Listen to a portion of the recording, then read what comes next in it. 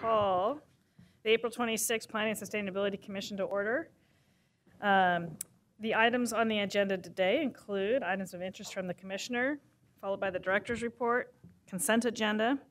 We will be having a hearing on the Multnomah County Courthouse and making a recommendation on it tonight. If you're here to testify for the courthouse, please um, fill out a card in the back of the room and bring it to Julie. That hearing will be followed by a briefing on deconstruction code language, then a briefing on solid waste rates, and a work session on um, residential and open space zoning map. So any items of interest? Mm-hmm. This is a little um, touch base about the residential infill project that Teresa and I are both on. Um, And to let folks know that the proposal with the modified schedule, originally this group was presented with the task of getting something in front of the Plan- Planning Sustainability Commission by um, January of 2017. Um, And due to some machinations in City Hall, the proposal is now to skip past us um, with a term sheet going to City Council so that it can be voted on before the end of the calendar year, at which point it comes back to the Planning Sustainability Commission and back to City Council. So it's not a very efficient process. It's something that is not, I think, the ideal way to run this show. Um, It means the City Council is going to have to hear it twice with public testimony both times. Um, But the hope is that by getting a term sheet done, um, which I would argue probably is policy, but some might argue is not policy, um, it would get um, a first vetting by City Hall before they go and write all the code work. So I'm a little bit concerned by the process. I think those who want to cry foul will cry foul if they don't get happy with the results. But I'm also optimistic. I think there's a good opportunity for compromise between folks who want to decrease the size of homes that can get built. Um, That's very important to a lot of people, and also provide more flexibility within them. And I think that the chance of going through this process, if that helps um, implement that kind of compromise, then um, I'll be supportive along the way. Okay, any other items? No? Susan? Wow. Okay, consent agenda, consideration of the minutes from April 12th. Move adoption? Second? We're going too fast. I Julie can't second. keep up. Um, All in favor? Aye. Aye? Great. Okay, so one more time, this is a hearing for the Multnomah County Courthouse. Um, If anybody has, um, would like to testify, there are cards in the back of the room. If you could fill them out, and then please bring them up to Julie. We'll be limiting testimony to two minutes. Um, And I also want to give everybody here a moment. Are there any conflicts of interest that anybody would like to declare? Go for it. Uh, Good afternoon. I'm Troy Doss, Senior Planner of BPS on the Central City team.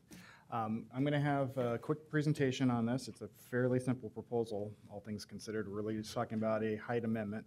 Um, And then afterwards, I'm going to have uh, representatives of the county, uh, the project manager, uh, DJ DJ Deschamps will be here, as well as Commissioner Shiprack will be here to answer any questions you may have about specifics about the project.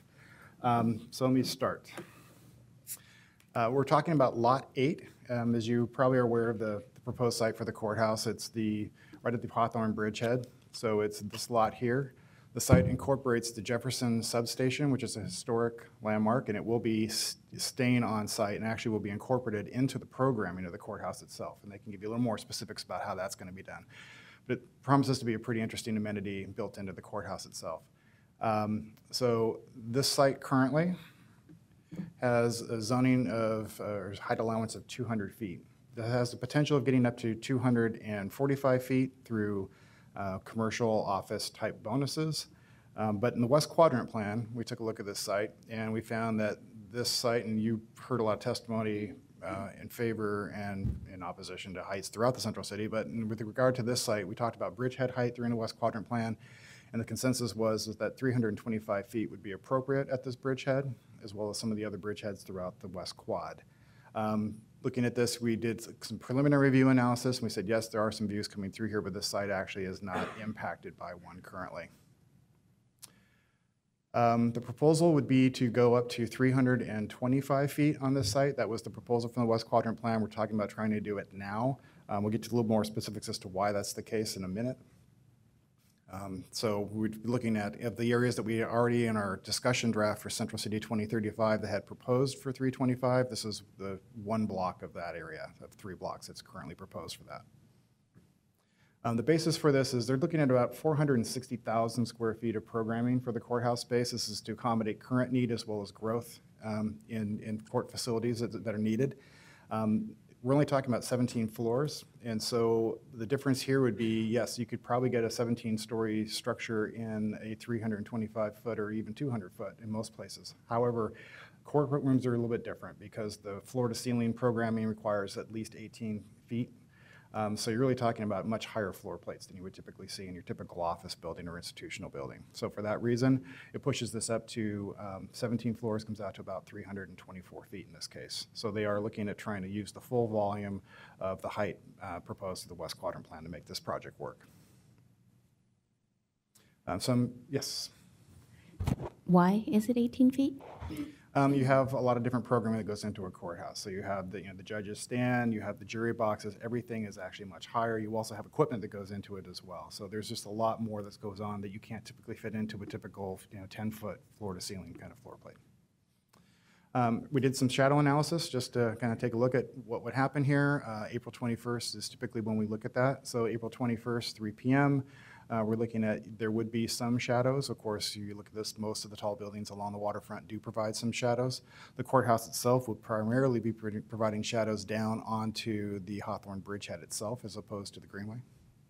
Um, This is some analysis that was done by um, the architect for the project, SRG, showing something similar one month in advance, so on March 21st on the solstice. Um, So uh, quite simply, the recommendation is to go from 200 feet today to 325 feet.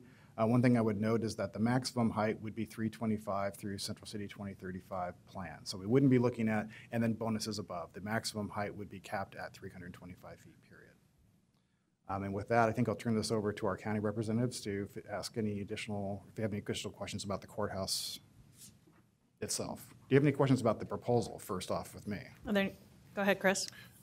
So just to understand the relationship between what we're doing tonight and the West Quadrant Plan, if, if the county were willing to wait for the West Quadrant Plan to become adopted, no further action would be necessary, right? That's a basically acceleration, or is there actually additional height? And I think the, the better, question is, is if the county could wait. The problem with this is that there's approximately $32 million that's been uh, allocated by the state legislature to this project with the contingency that the project break ground by the first quarter of 2017. So it probably doesn't allow us to wait for full implementation, which of 2035 plan, which is looking at about 2018 at this point. We But would this lose height- the funding for the project. But this height is no higher than what we've already adopted. It in is West Quadrant. exactly what has been uh, t- discussed during the West Quadrant Plan. Thank you.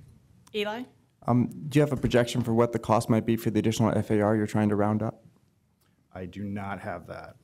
Um, They're not really looking at additional FAR, though, because they do have FAR that's already available to them through a number of different p- ways of getting there. Um, They can use green roof bonuses, they can use bike locker bonuses, they can use historic transfer bonuses, which they do have um, historic resources, including the existing courthouse that they could be transferring FAR from. How they get there, I'm not sure. That's not really part of this proposal itself. Okay, when I, when I read the memo, it looked to me like there was some yet to be identified beyond what you could get through the straightforward bonuses. And I just, the reason I asked the question was, um, if you guys are running short on FAR and might have to write checks for it, I'd rather the proposal come to the commission and to city council to get an FAR adjustment also. Um, I as don't a believe they need one, but I'll let, I'll let uh, DJ respond to that, or thanks. JD respond. Okay. Maggie? M- Your, your mic. Thank you. This doesn't pertain to height, but I'm curious as we're talking about financing, was there any minority women-owned contracting in this process that you know of? in Yeah, and I'll terms have to turn that over to the county to respond to that. thank you. Yes. Other questions? No? I think that's it, Troy. But Oh, Commissioner, oh, Yeah. Gary's, This is a follow-up on my colleague's question about the ceiling heights. Um, The 18 feet, in reading through the staff report, um, seems to have as much to do with the grandeur of the courtroom as it does with the practical um, physical layout. And I was curious as to how standard the 18-foot ceiling height is uh, in courtrooms across the region or across the country. May let their uh, architectural team respond to that one. if you I'm will. sorry, I'm I'm not going to let their hearing. architectural team respond to that if it's okay with you. They are better suited to answer that question than I am. The county's architectural team is also here. I- I'm The, sorry. the I'm- architect for the project is also here. They can probably respond to that question better than I can. Mm-hmm. I really, d- I couldn't answer that with any detail. okay. Any other questions? No? Okay.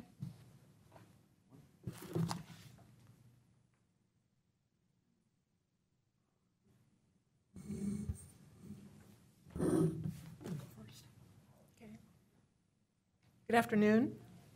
I'm Judy Shiprack, County Commissioner for District Number Three, uh, which is southeast Portland. The district is entirely within the city of Portland, uh, from Cesar Chavez out to 148th, and from the Banfield to the Clackamas County line, just to give you kind of a feeling for that district. I've been advocating for a new central courthouse since my first days as a county commissioner in 2009.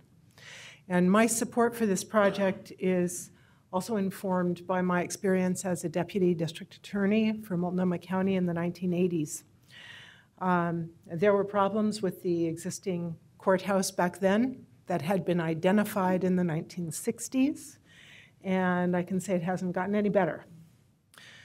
Um, The building is functionally and structurally obsolete, um, and we've been studying how to replace uh, or renovate the courthouse for uh, over 40 years now. And I'm very proud of our progress. We really have a tremendous amount of momentum, both with um, the city of Portland, uh, with the county, and with the state. Um, So we have completed a very robust process of site selection and facility programming, and I'm pleased to say that our design team um, is just outstanding, and that we have commitments of millions of dollars in funding. The county is, is really working shoulder to shoulder with the city of Portland on this project. I'm, I'm very pleased about that. I know that this building is going to be um, something that reflects the pride that the city feels in its own appearance um, and in the compatibility with the river um, scape, really the, the cityscape. We've been very careful uh, in those design features. Um, Our collaboration with the state is a financial collaboration with a significant portion of a $300 million price tag coming from state funding on the condition that we stay on this schedule and that construction start in early 2017. Um, It does require uh, the city to approve the increased height on this block to 325 feet. Um, And I'm here today to ask you to uh, recommend approval of the zoning amendment. Thank you. Hello, uh, my name is JD Deschamps with Multnomah County Facilities and Property Management. I am the project manager for the county on this project, and I think Troy has pretty much given you a great update, and anyone who's been on jury duty in the existing courthouse can understand uh, kind the needs and why we would need a new courthouse. Uh, If it's all right, I'll just maybe answer some of the questions that have That'd be already been. Thank uh, you. brought up.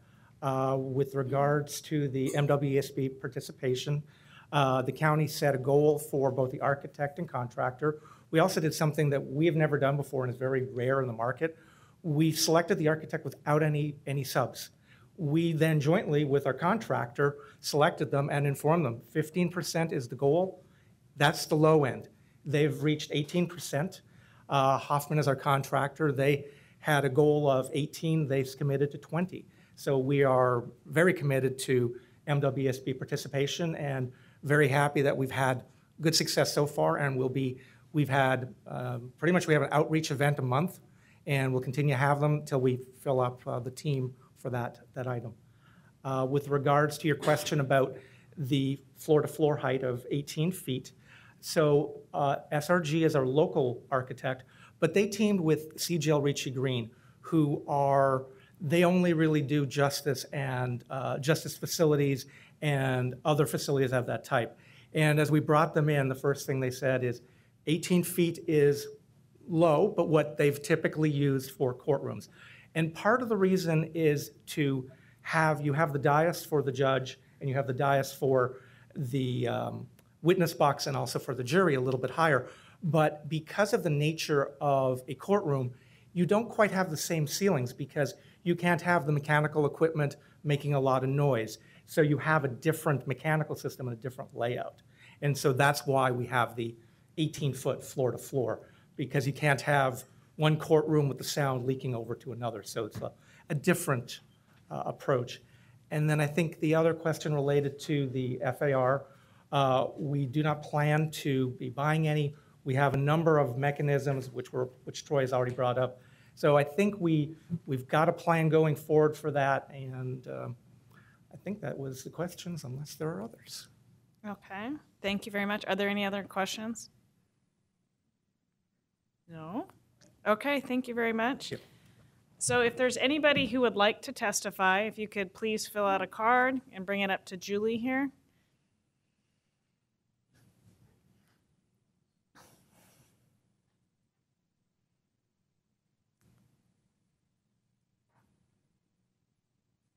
Thank you, Julie. Sam Galbraith? If there's anybody else, going once, going twice, um, please fill out a card if you do. Sam, please, come on up. Yeah, I was kind of just filling in time there. Um, Two minutes, please.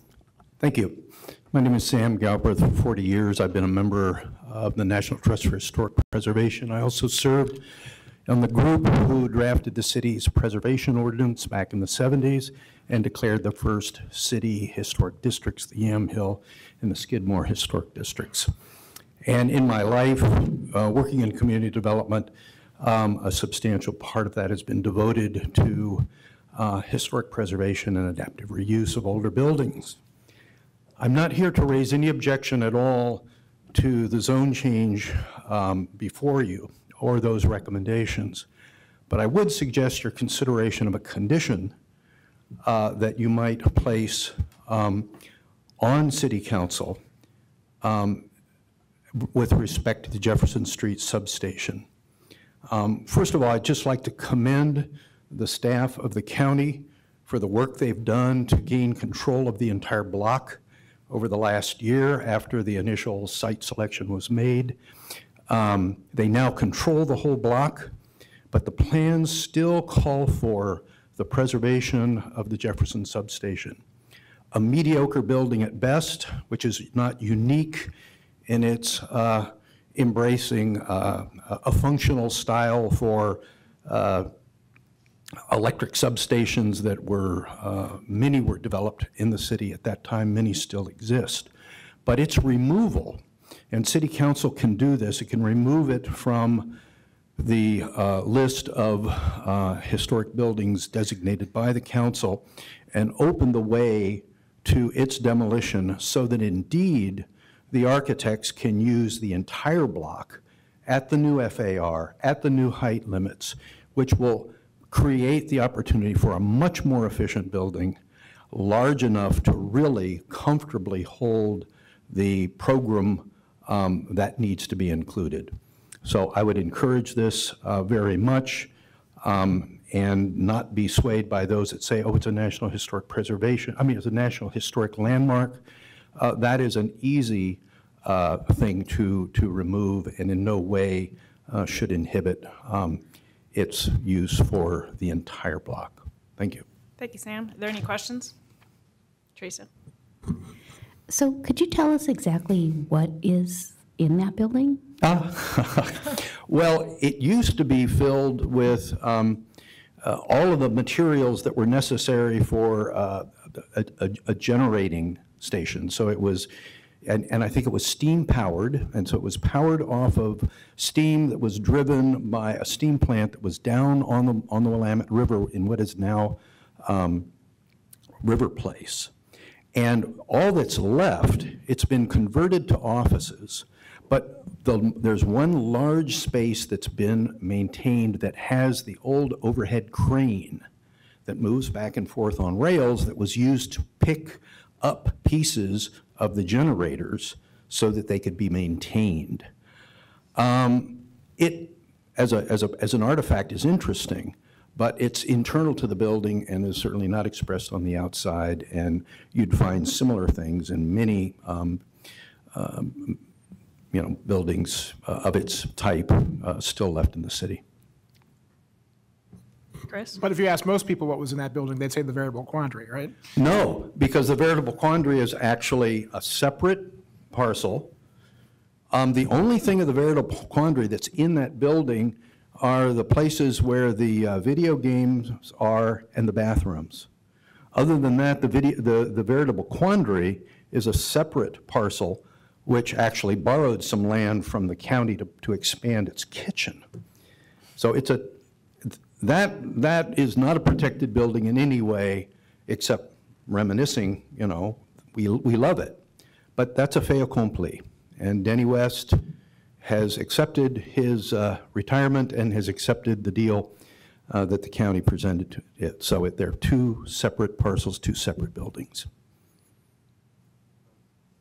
Well, I had that association, as I looked up online what this building looks like, and it was, the Veritable Quandary was very distinctive one. The one next to it is not nearly as distinctive in my mind. So I'm, I'm curious whether the county did, well, I've had properties before where you have an in-holding and it's extremely expensive. Um, Did the county look at the cost comparison of doing this program with that building taken down, which also would be a city council decision? Um, Just my own personal observation, the county seems cowed by the historicans, the hystericans, I call, I'm, I'm one of them. And they don't want to confront um, people like me who are passionate about historic preservation. Um, And generally, I would applaud that. But, um, and, and in fact, the existing courthouse, of course, is listed in the same way that the building I'm advocating for removing is. And I think they should still stand by the guns and make sure when that's disposed of, it is disposed of conditional upon its adaptive reuse within the current confines of that building. But I don't know that they've ever asked the architects to look at how much simpler the design would be and how much more efficient it would be, because that's never been on the table to my knowledge. Okay, any other questions? No, thank you. Thank you. Oh, you had a, you had a question, Gary? The, um, the preserved building, th- that's about a quarter of the total footprint? Exactly. Okay. And it's only three, three stories tall, so it's a three FAR in a, a district that I think, well, the, the FAR is going to go to, I don't see it up there, but it will, it would result in a substantial underutilization of the envelope for that full block. Thank you. Okay, one last time, is there anybody else who would like to testify? Okay, it doesn't look like it, so with that, we'll close the hearing. Thanks, Troy. I, I Uh, failed to mention one thing too. Uh, there, there have, we have received, and you should have copies of six letters regarding this. Um, there was testimony uh, from a private citizen um, in opposition to the project, but there are then five letters in support um, from the, you know, Multnomah County Bar Association, Executive Director of Oregon Public Defense, uh, the Chief Justice of the Oregon Supreme Court, uh, district attorney, and the presiding judge of the circuit court from Multnomah County. So Could, could you explain briefly the opposition, the point of opposition? Was it the height or the? it was mostly height, and it was a kind of a reference more to what happened during the West Quadrant Plan and the fact that although that may have been approved by the PSC and City Council, the final actual zoning height has not been adopted yet. And so the question is far from settled as far as that individual is concerned. Any other additional questions? Um, Two questions. One is, um, if you were going through the city process um, and waiting for the zone change to happen, as it's slated to, um, there may be linkage fees or other sources of funds that the project would have to pay towards affordable housing. Um, I'm wondering, you may, you're not the right person to answer this question, I know, it'd probably be the sponsors, but whether that might be a, um, something that the county would, would pay um, if the city adopts um, linkage fees or something like that between now and when the code goes in place. So that'd be one question for the county. Um, And, and I'll I'll throw out one more question um, while you're coming up, is, I mean, I, I just looked at this, this building, I, I would be, I'm not going to try and micromanage county finance here, obviously, this is a planning commission meeting, but it seems like there would be a high potential for the county to save millions and millions of dollars um, if they um, took down the existing building and did a more efficient construction type. And if that were on the table, and thinking what the county might do with those funds, there might be some pretty exciting things the county could do. So I would, um, uh, speaking for myself, I guess, encourage the county to look that, o- run, run some back of the envelope calculations, um, because that, there could be some really compelling uses of those funds in scarce budgets. Thanks.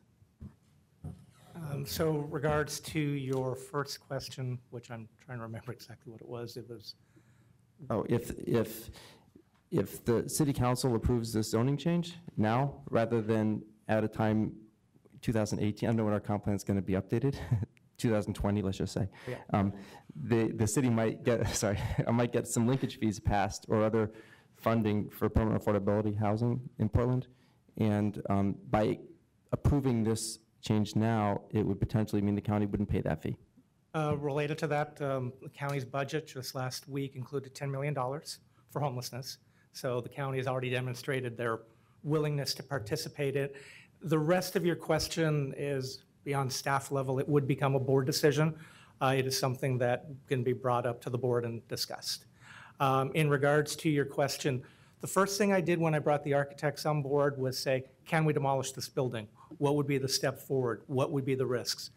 And they looked at and they said, your biggest risk is having a lot of people show up and protest that you're going to demolish the building, and then city council delays, then we don't have a project to bring forward for design review, therefore we don't get any money from the state and the project dies.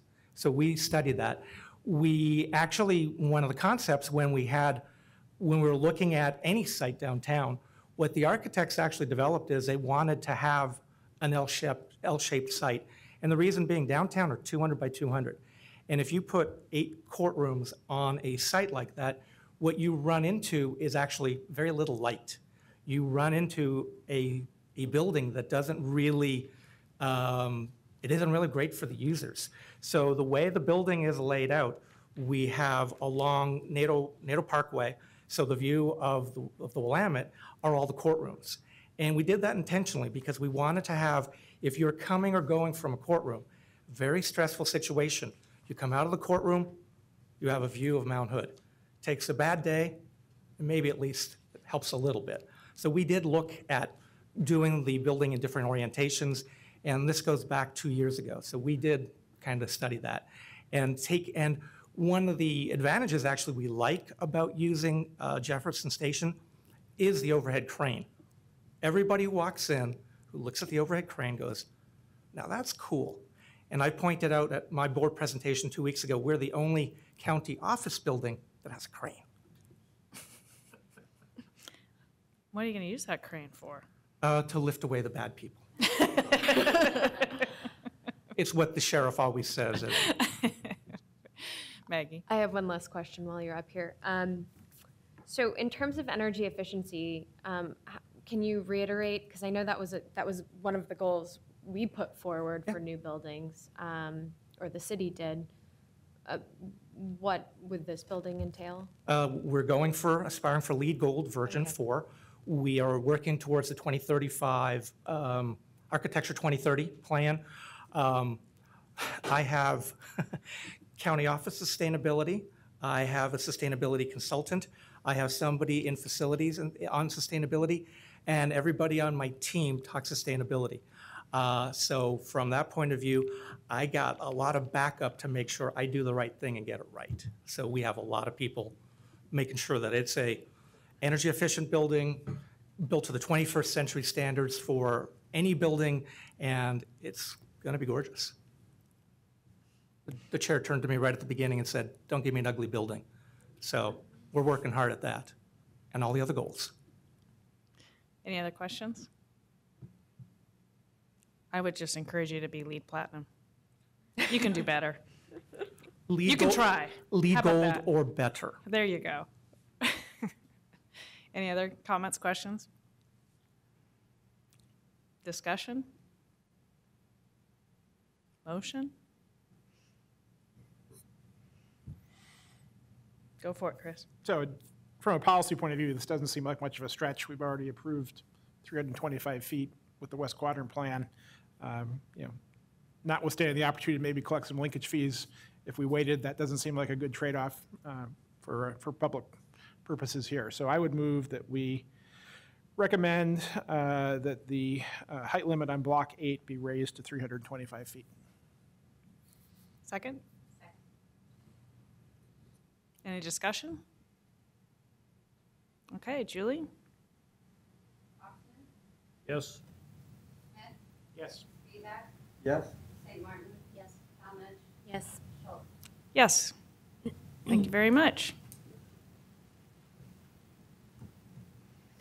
Best hearing and recommendation we've ever had. We're going to have a little bit of a break now, I think. Is everyone here? Actually. Okay.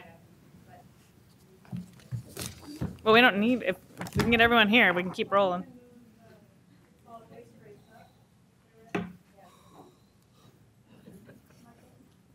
cookies really over there. I'm very upset. I know.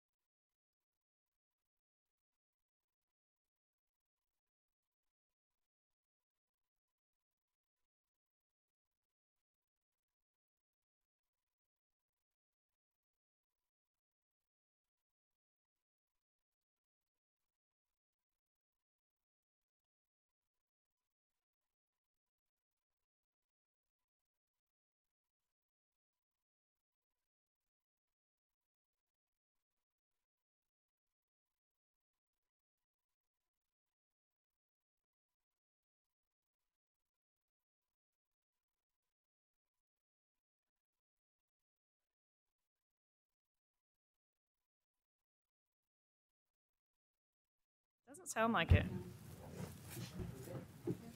Hello? All right. There was a green light. Um, Good evening, I'm Shawn Wood with the Bureau of Planning and Sustainability. I'm here to give a update on uh, deconstruction code language. So as you might recall, I was uh, here back on January 26th to give a briefing on a resolution that BPS was taking to City Council. That resolution directed BPS to uh, develop code language that would require projects seeking a demolition permit um, for houses or duplexes to deconstruct that structure, so disassemble it and save the materials for reuse. Um, if the house or duplex was built in 1916 or earlier or was designated a historic resource. Um, the resolution was unanimously approved by City Council, so that was great news. Um, and then I also wanted to uh, thank the PSC for submitting a letter of support for that resolution. So thank you. Um, since uh, February 17th, staff's been busy developing uh, draft code language, and we've been working with um, our own staff, the Bureau of Development Services, um, and the city attorney, as well as our deconstruction advisory group um, for advice on developing that code language. And we released a public review draft of that last week, and that kicks off a four-week public comment period. Um, so during that time, I'm out um, visiting uh, landmarks, design commission, the PSC, neighborhood coalitions, and um, essentially a roadshow looking for feedback on that on that draft. Um, you should have a copy of the code language in front of you as well as just a kind of a, a two-page uh, summary document. Um, in terms of the, the code language, one of the things I've found in, in uh, working on developing it is that a, a, lot of codes are, are pretty simple in the sense of what you want um, to get out of it. Um, it's how you ensure compliance and quality that's the, the tricky part. Um, so we're taking a number of approaches to guarantee that we get what we're asking for without too much um, kind of enforcement need. One is the use of certified deconstruction contractors. So that's not something that exists currently in the marketplace, but we're developing um, a training and certification program uh, using the Building Material Reuse Association. Um, they have a, a, manual as well as um, trainers across the nation that can assist us in that. Um, the other thing we'll require is a pre-deconstruction and a post-deconstruction form where they can identify the materials that they're um, planning on salvage and we can kind of compare before and after. They can identify if they're using um, mechanical equipment and then also identify um, who the certified deconstruction contractor is. Uh, we'll also require uh, receipts and documentation of materials that were either donated or sold or reused on site um, or recycled or disposed of. And then BPS would be responsible for random inspections. Um, so there's no really good time in a deconstruction process to go out and inspect a site. Um, so we would rely on uh, random inspections and then also uh, posting the site with uh, signage saying that the property is being deconstructed and who to call for concerns. So if you think about something like erosion control concerns, you may have seen those signs in front of a development project. We'll take a similar approach so that if someone sees uh, something going on that doesn't look like deconstruction, it looks more like mechanical demolition, they can give us a call and we can go out to the site.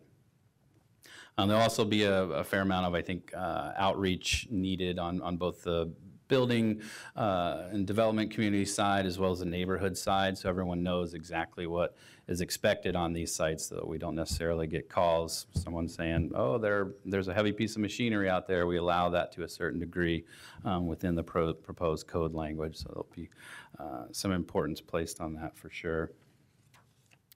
Um, training and certification, I alluded to that in terms of the certified deconstruction contractor. We've, um, we're working with a, a, local consultant on helping develop that plan for the training. Um, we're taking a, a, high road approach where we're going to have priorities for both training and hiring um, in terms of women, people of color, and uh, traditionally or historically disadvantaged communities. Uh, we're going to kick off uh, that process on May 18th, which actually coincides with the end of the public comment period. Um, we have a number of folks that will help us craft that, and at the, the end of that process, we'll have a solid plan for how we're going to roll that out and how the different uh, organizations can help participate, and also funding sources. Um, we also need a training program for labor. So the These requirements will effectively triple the amount of deconstruction work in the city of Portland over the course of a year. Um, We're going to need additional people doing that work. So um, workforce development is going to be a kind of a critical path for this for sure. Um, And then, uh, one of the other things to help support the requirements, um, deconstruction typically can cost more than uh, uh, traditional mechanical demolition, and we have a deconstruction grant program, which I think I spoke about a little bit at the last time I was here. Um, That's ongoing. We initially seeded it with $50,000 from the Solid Waste um, Management Fund reserves. Uh, We also recently received an additional $50,000 from the Department of Environmental Quality. Um, So we got a grant for our grants. Um, And uh, um, so that gives us $100,000. We've uh, spent maybe around 28,000 of that, so have a a pretty good chunk left as we move towards um, requirements that would go into effect at the end of October. Um, So again, just uh, timeline, public comment period ends on May 18th. Um, Our ordinance will go to city council on June 29th, um, and then it will take effect on October 31st. Uh, And then I'm happy to answer any questions you have about the code or the process, and certainly, um, you know, during the public comment period, feel free to contact me directly. My contact info is on this sheet and also on the inside cover of the, the code language. Thank you. Thank you. Do you have any questions? Yes, Andre? Um, First, I see there's penalties, um, potentially. Um, What could they be? I mean, how much? So, um, The penalty component, there can be liens placed, and there's a number of criteria, but I'm asking, what could be the value? the value, so that should be, that's in there um, on page five. Uh, So there's kind of two tiers, so there's, there would be infractions, uh, for example, of uh, not posting your site with the, the signage. So that would be kind of a minor infraction, and so a first violation might be a, a a fine up to $500. The, the worst case scenario is where a project is required to deconstruct, they completely ignore that and they hire a mechanical demolition contractor and they scrape the building. Um, The, that contractor could stand to gain a substantial amount of money by taking one approach versus the other, so we need a substantial penalty um, in place to guard against that. So improper use of mechanical equipment could have a fine up to, up to $10,000, not necessarily 10,000, but um, the delta between a really large project that deliberately ignores the, the requirements could stand to gain easily that much. And Then we have an, uh, an appeal process as well, so um, it- sometimes there's misunderstandings. um, We may have different documentation or something like that, um, and there'd be an appeal process first through the director and then to the code hearings officer. And then um, for minority contracting um, and certification, you're, how are you working that? So the, the consultant that we've hired has experience um, in workforce development, specifically taking a high road approach. So she uh, helped uh, the Bureau of Planning Sustainability when we were developing the Clean Energy Works program. Um, And so we'll take a similar approach. The, the meeting that we'll have on the 18th, we've um, extended invitations to Women in Trades, Constructing Hope, um, number of different organizations that represent the priorities that we're um, looking towards. And then we'll, we'll also um, rely on her for uh, a, a plan in terms of both um, having folks trained, but then also the hiring of those folks. Okay, so, um, but that's workforce, so I'm talking about the companies that'll be certified. Oh, yeah.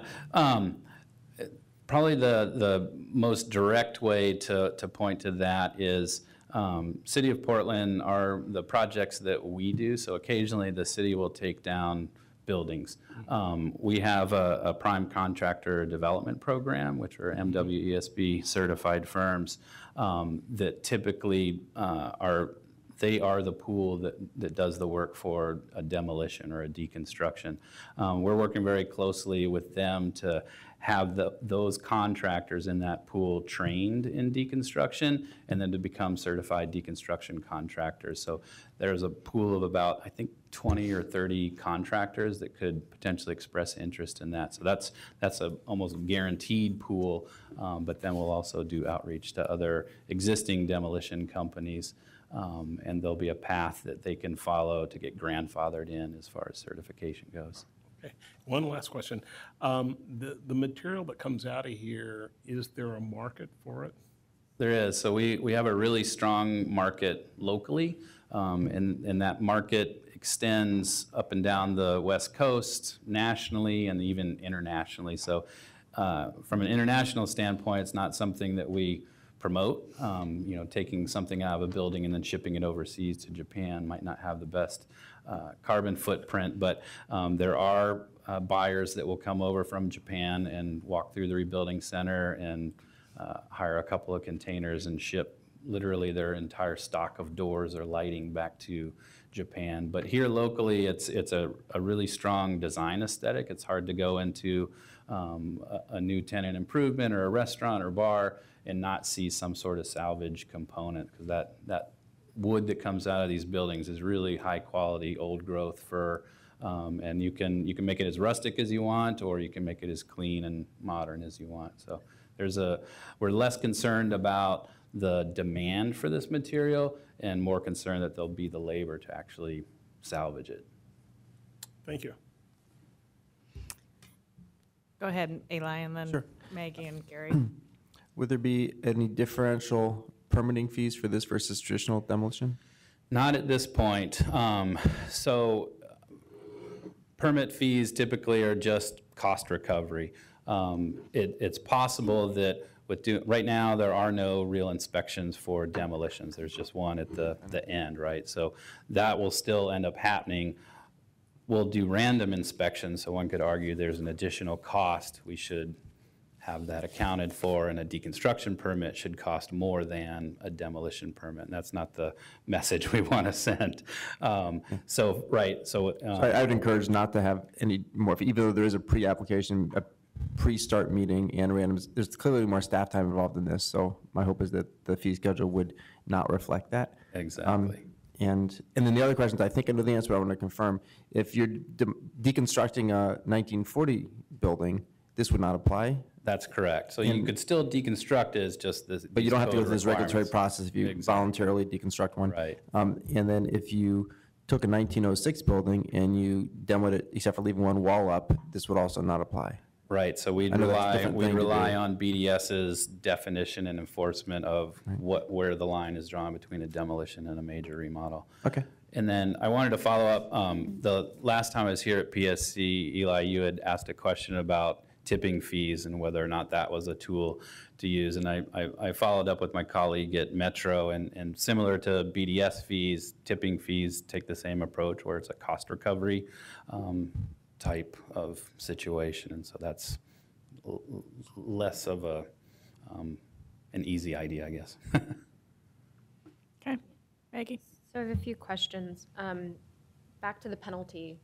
Is it, I mean, are there, would someone be, uh, someone demol- demolishing a building save substantially more than $10,000? And if so, does that penalty need to be, re- that ceiling need to be reevaluated? Right. I think um, if we're talking about just houses, which we are houses and duplexes, um, it, it would probably have to be something like a, a mansion or that would exceed that that cost difference. I mean, we're we're typical for the average the average size demolition is around 12, 1300 square feet.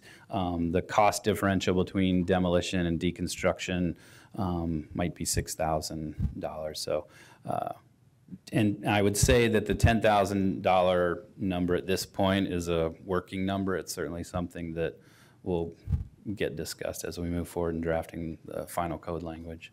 I chime in over that. I just priced these um, deconstruction versus demolition, and I would say actually from, that's probably accurate for this, the split. Um, But the real thing, reason the developer is not going to want to do the penalty is the stop work order. Like, because we need, you want to start building something right afterwards, and that's what a developer would probably that's probably the better hook. Right, and so we do have that provision in there for a stop work order in those situations. It becomes a little tricky, um, you know, BDS can do stop work orders under this code language. Our director could initiate a stop work order. Um, There'll have to be some coordination, I think, between the two bureaus. If, uh, let's say, a mechanical piece of equipment has knocked down half a building and half of it's standing, and we say, wait, stop, uh, we've got a potentially hazardous situation where it may just need to come down, and then we'll sort through the, the penalties later. Um, Oh, I- Go ahead. so just curiosity, is a consultant from Portland or Oregon? Yes. And then third, um, so I think is if, if, if we look in aggregate, when we look at, or when we look at MWESB, a majority of those are white men, emerging small businesses. So I'm curious how you would get around that with this program, really to target as you did with the training program. Um, and then if there's any, if you can incorporate any required subcontracting so that, I mean, if you have a project large enough, you have someone moving up through the ranks, a smaller business that needs to build that capacity uh, and build that project portfolio. Right.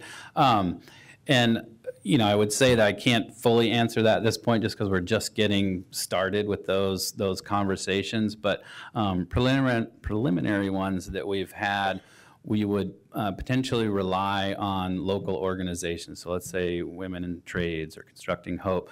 They would identify folks that are in their existing program to participate in the the, let's call it the class of 2016. So we might identify that we need 30 people in order to meet the increased labor demand. Um, They would go through a, a training program. Um, We would, we're going to identify sources of funding to help cover that. Then there would be an on-the-job training component, or almost an apprenticeship type program. Um, And I know at, at a minimum, the Rebuilding Center is interested in hosting that. Um, They would pay for part of their wages, and then um, we'd identify other sources to essentially supplement, supplement that. So um, I think the, the first part's going to be identifying who that class is, um, and then they will be the ones that follow through the program and are going to be the most likely to be, to be hired. Gary? Um, The fact sheet mentions um, grandfathering of existing um, practitioners for deconstruction, and I didn't see corresponding language in the code. Did I just miss it, or can you point it out to me? No, so uh, one of the things that, you know, will kind of ride on the, the coattails of the code language will be administrative rules. Um, And so those admin rules will detail that.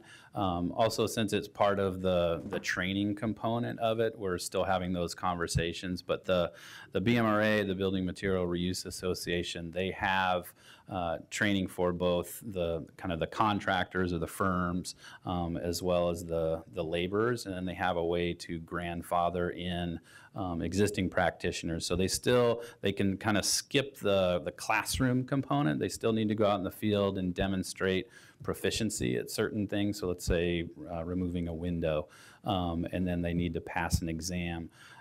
Then for the, for the, uh, for the contractors, the certified deconstruction contractors, they're required to demonstrate 2,000 hours of actual deconstruction experience. And so they would be able to report that retroactively. So a lot of those details will be in the admin rules. And um, in here, I've kind of indicated in several places where that additional detail that's more procedural um, and less code-oriented will be found. Um, So, does, uh, do, does the code not have to have an authorization for that grandfathering? I, uh, well, again, the, the admin rules would supplement it, um, so I don't see that it needs to be in the actual code language, especially if it's something that is, might change in the future. So today, as I sit before you, I'm saying, we want to use BMRA, we want to use this training. here's the criteria. Um, We may go through this and find that that's not the best approach, and maybe there's another organization, or we want to develop our own uh, code requirements. We wouldn't necessarily want to go back to city council and ask permission to change the code. We could do that um, as part of the admin rule process, and it would still be a public process, but it would be at the bureau level and the director level as opposed to city council. Yeah. My underlying concern is that there's at least one large not-for-profit that has been in the deconstruction and salvage business for a long time. Right. And um, I'm concerned that they remain eligible under this. Have they, have they been, have- You're concerned that they would be ineligible, or, we're talking about Rebuilding Center? Right. Have they been part of the conversation on this? yes, most definitely. They'll, they'll likely be the, the entity that does the most hiring for this, so they'll, they'll be one of the first folks that shows up to, to get certified. Okay, Thanks. Teresa? So I'm curious if you have some plans for tracking the materials and sort of creating the story of the success so that we can, one, save stuff, and then start going for younger buildings if it's working well. Right, so the, um, the requirement to submit a, a pre-deconstruction form on the front end as well as the tail end will help us start to build that. Um, there's a lot of parallels between what we're doing in the code language and what we're doing with our deconstruction grant program. So there were a number of goals with the deconstruction grant program. One was we could learn from it, but we could also, uh, and we can incent um, certain behavior, uh, reward innovations, but a lot of it was data gathering, and that's proved to be one of the more valuable components. So we now have information on costs and number of hours and lessons learned and information about further encountering hazardous materials. Um, so I think that that approach has worked well for that, and we'll we'll use a lot of that um, in the actual requirements so that we can report on here's the the amount of materials that were were saved and um, hopefully expand this going forward. This may be more of a question for Susan. Um, So this is going to be administered by BPS, uh, and I certainly get the sustainability connection, but it just seemed to me, reading the code, that a lot of the day-to-day activities involved in this are things that uh, BDS does on a regular basis, and was there any pro-con on which bureau should administer this? I can answer I'll that. let him answer most of it. Part of it is also that, and maybe you can talk about our similar relationship we have with other solid waste issues.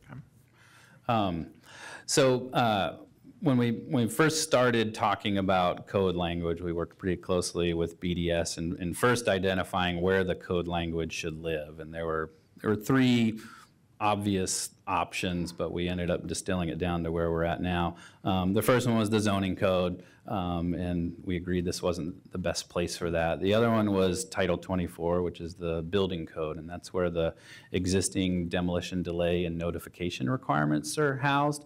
Um, And if you read the, the purpose statement of, of that title, um, this would seem to fit in there fairly neatly. Um, they argued that it really isn't, um, e- even the, uh, the demolition delay and notification requirements probably shouldn't have been there, but there was a legacy of 20 years of it being there, and so they kept it there.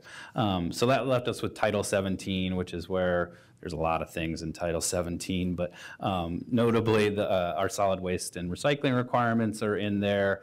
Um, Ban the bag is in there, energy benchmarking is in there. Um, This would follow that. Unfortunately, when I, I sent this, uh, copy of this to the auditor's office, their first comment was, well, the, the section you're using is reserved for the uh, vehicle tax.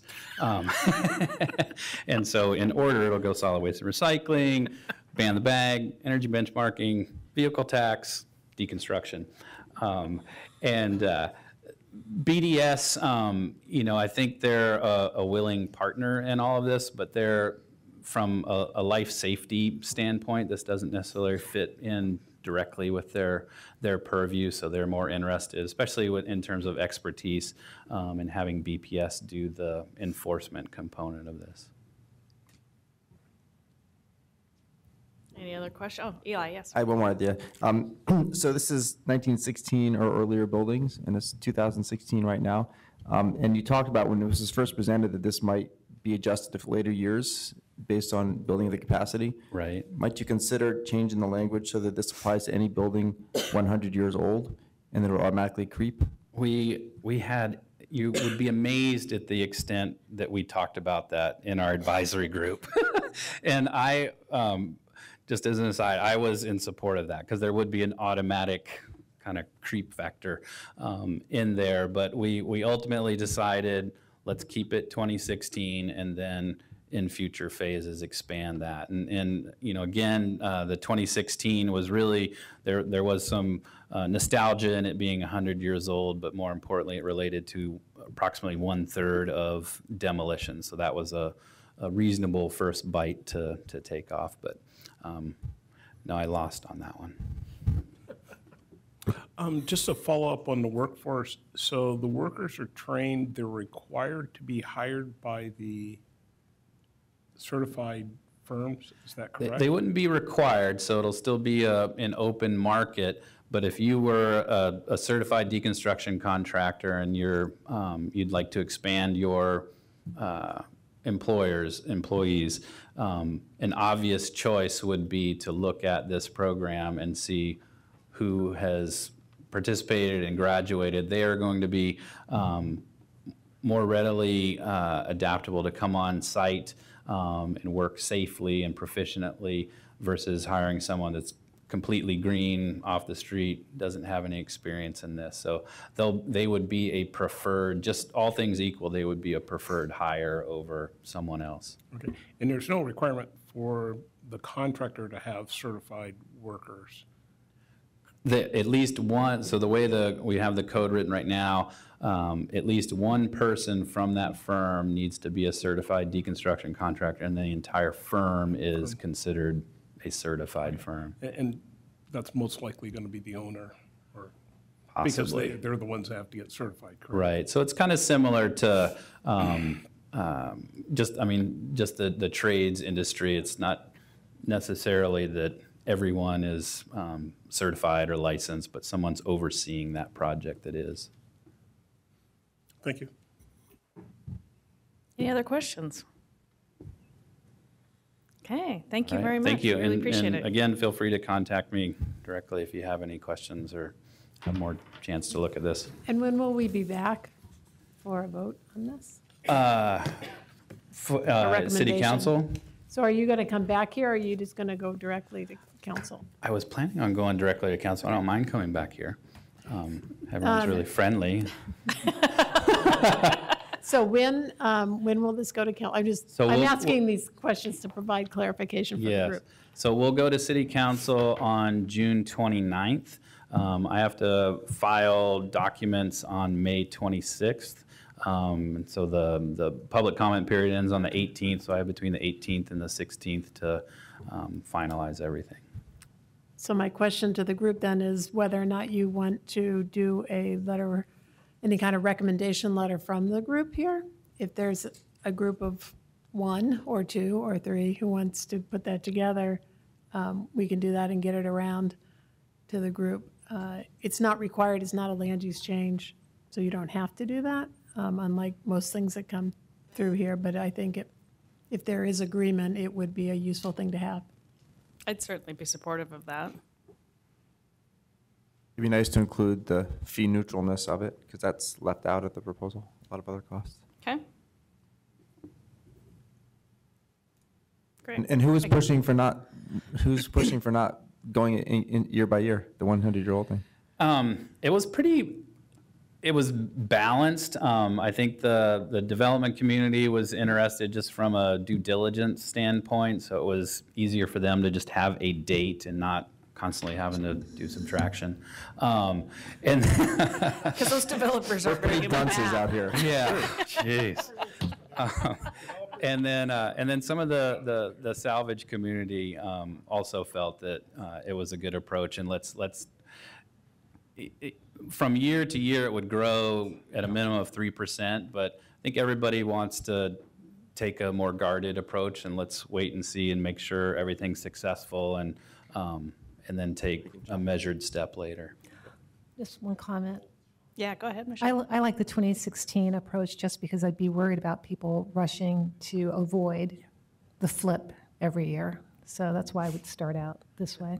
Um, So Michael just reminded me, the, uh, the way the resolution read, um, and then also um, on the back of this uh, two-pager, the, uh, the timeline, uh, originally, we were planning on going back to city council a year after the effective date, so October 2017, with an update on the requirements, how things are going, were there any growing pains, do we need to adjust the code, were there loopholes that we didn't think about?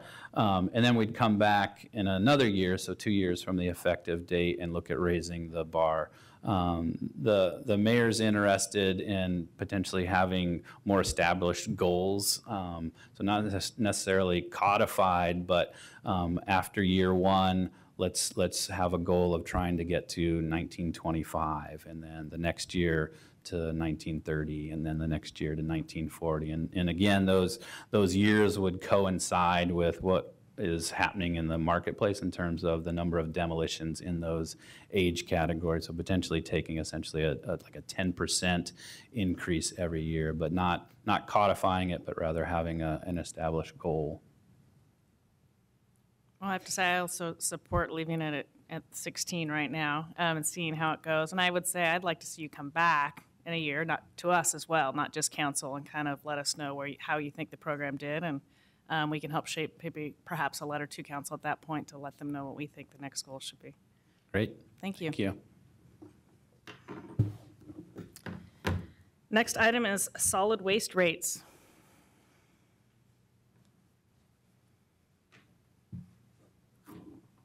Almost back on time. All right, good evening. I'm Michael Armstrong. I manage the sustainability programs for the Bureau of Planning and Sustainability. With me is Bruce Walker, who leads our solid waste recycling and composting programs. So this is the, the first year of the PSC taking on its role recommending rates for residential curbside collection to City Council. We were here in September with a, a sort of an introduction and orientation to the issue. Um, and we are back here today uh, to share with you the first glimpse of what will likely become the proposed rate um, for the most common, oops. And that was it. Um, So, um, so I will just provide very quick orientation, and then I'll turn it over to Bruce to share a couple of the key factors that are, you know, all processed into this recommended rate for you to discuss. And then we will come back at your next meeting, once we've got a little more information, the rates are fleshed out. So this is, um, again, sort of providing the building blocks, but also giving you the, the first public glimpse of what the proposed rate for the most common service lev- level will likely be. So just as a, as a reminder, um, we have a very different system for collecting garbage, recycling, composting on the commercial side than the residential. Commercial, by which we mean businesses, but also multifamily properties of five units or more, or excuse me, of more than five units. Uh, Commercial is about three quarters of the waste stream, so the lion's share of the waste is there. Customers get to choose their hauler. We set rules. Uh, We receive a per-ton fee that helps us run programs to support businesses, but we do not set rates, and we do not divide the city up into geographic districts. So businesses get to choose their hauler. What we'll talk about today is on the, uh, what we call residential curbside, so single-family up through fourplex. Uh, We do have geographic service territories for that. Haulers are franchised. W- There are extensive rules about how they need to provide that service, and very significantly, the city sets the rates. Uh, Within those rates, there's a a franchise fee that you'll see as we talk about the numbers that comes to the city to help run programs to support recycling, composting, and waste reduction. So with that, I'm going to turn it over to Bruce to uh, go through the factors in the rate making and then share this initial look at what rates are likely to be for next year. Our office oversees 14 haulers who provide the residential uh, uh, services throughout the community. We receive their financial reports hire a, an independent CPA to review the books, their financial records to us. And we, we that's part of the, the uh, formulation that we're coming to, to you tonight. Here are some of the key factors that we go through as we look at, obviously, labor, the drivers on the routes, the, the fuel costs, and we take a look at those actual costs, and in a moment, I'm going to compare those against what's in the current rate that, that uh, was established last year. There's always, there's also garbage disposal costs, uh, what the haulers are actually picking up from the individual households, as well as the fees that are charged when they deliver those materials to the transfer stations that are operated by Metro. There are charges for both garbage, and the next item, the yard debris and food scraps, also includes charges for disposal of that material. Recycled materials typically have brought in uh, uh, a slight amount of revenue for our program, for the program. Uh, Right now, markets, quite frankly, are at a very low point, so that's not a, a aspect that is bringing in uh, revenue into the program, but we're going to roll it all up in a rate for you in just a moment. What I've listed on the last line is incentives and disincentives, and that's some of our policy that will be coming to you at our next meeting to discuss how we can incent customers to reduce less waste. And one of the mechanisms that was described in the memo we provided i- is the incentive to go to a smaller can, such as a mini can, or less frequent, every four-week garbage service, versus a disincentive premium we put on the larger garbage cans, carts, the 60 and 90 gallon carts. That's a, that's a placeholder, just to be aware. We'll be coming back with policy recommendations on what those incentives and disincentives should be. Where we are right now is to look at the most common service uh, uh, level, which is a 35-gallon cart. There's 43% of our customer base is in that. Now, we've broken out what some of these, the primary costs are, the cost centers that are shown by, uh, on this table uh, in the major categories. So the red bars are what's in the current rate, and now we're comparing the, with some of the, uh, the reviewed financial records. Well, what are the haulers actually expending over the past year? And what might some of the adjustments be based on whether it's a metro tip fee increase or the uh, haulers' labor contracts to uh, increase driver wages. So these are some of the factors that play into these categories. The first three, solid waste, recycling, composting, that's the operational side of the business. And you can see there's, there's very slight adjustments there. Um, I'm going to roll up with some more, a, a table in just a moment to categorize this, but I wanted to give a sense to you that we're taking a very careful look at these operational concerns. There's also the general administrative costs, which include the, the management, the office staff, those who undertake the customer calls, billing calls. In the G&A category, the two columns to the right, or the two tables to the right, the operating margin, that's the target 9.5% operating margin that is incorporated in the franchise agreement with the hauler. And the franchise fee is the 5% of, of gross revenue that comes back to BPS to fund our programs and outreach efforts. I have a quick question. What is the uh, unit associated with this? Is this time per cart, per what?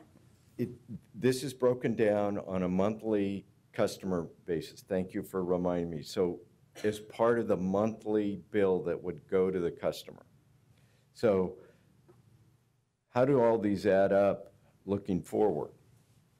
So proposed rates, different, oh,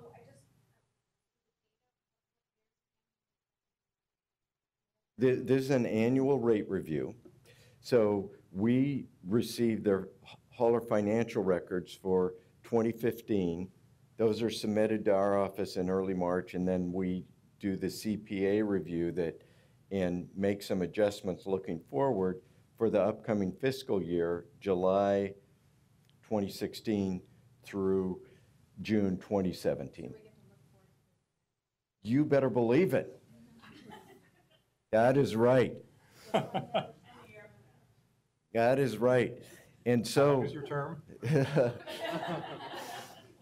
I actually thought she was pretty interested in it, and because she saw over in the far right column that we're proposing a rate decrease for uh, residential customers. And as we've taken a look at the range of service, uh, everything from a mini can up to a 90-gallon cart, we are going to project and come back to you at the May 10th hearing to, uh, that there would be a slight rate decrease. Now, I don't want to overstate this, but we're taking into consideration some inflationary factors. We're also taking into consideration some increases in disposal costs at metro facilities for, for the compost and uh, solid waste that's delivered. However, hauler operational efficiencies, they're, they're spending less time at each stop, as well as the low fuel costs, those things add up across the different components. And we are projecting, or we are proposing a 20 cent per month decrease for our most common service level. I'd be happy to So answer. that doesn't sound like much, but if you look at water and sewer and other, your phone bill, anything else, we've done this now. This is our fourth year in the row that we've either stayed flat or reduced rates. And it is an amazing partnership, sort of this public-private partnership of working with a group of private haulers. Um, And uh, they've been amazing, really, in terms of their efficiency. Okay, so the last time we talked about this, I went home and I looked at my trash bill. I was like, oh. So my trash bill, I have a 35 gallon cart. It's $48 and there is no detail. So So we, now, my guess is you might have an even smaller cart, and it's, right, it, may be a mini can, and you're receiving a bill, typically the hauler's bill every two months. And so, again, not to, no, I'm not, it's a very common question that our office receives. So we, we break it out in the monthly rate, and typically the haulers are sending bills eh, for covering two-month periods. But it's worth checking. Yeah. And if it, If it's not. you know who to call. Okay. So the reduction here seems to be really in the composting. Is that a, a result of the com, increased composting from customers, or is that just efficiency? Or is it a combination of, um, in the com, composting reduction?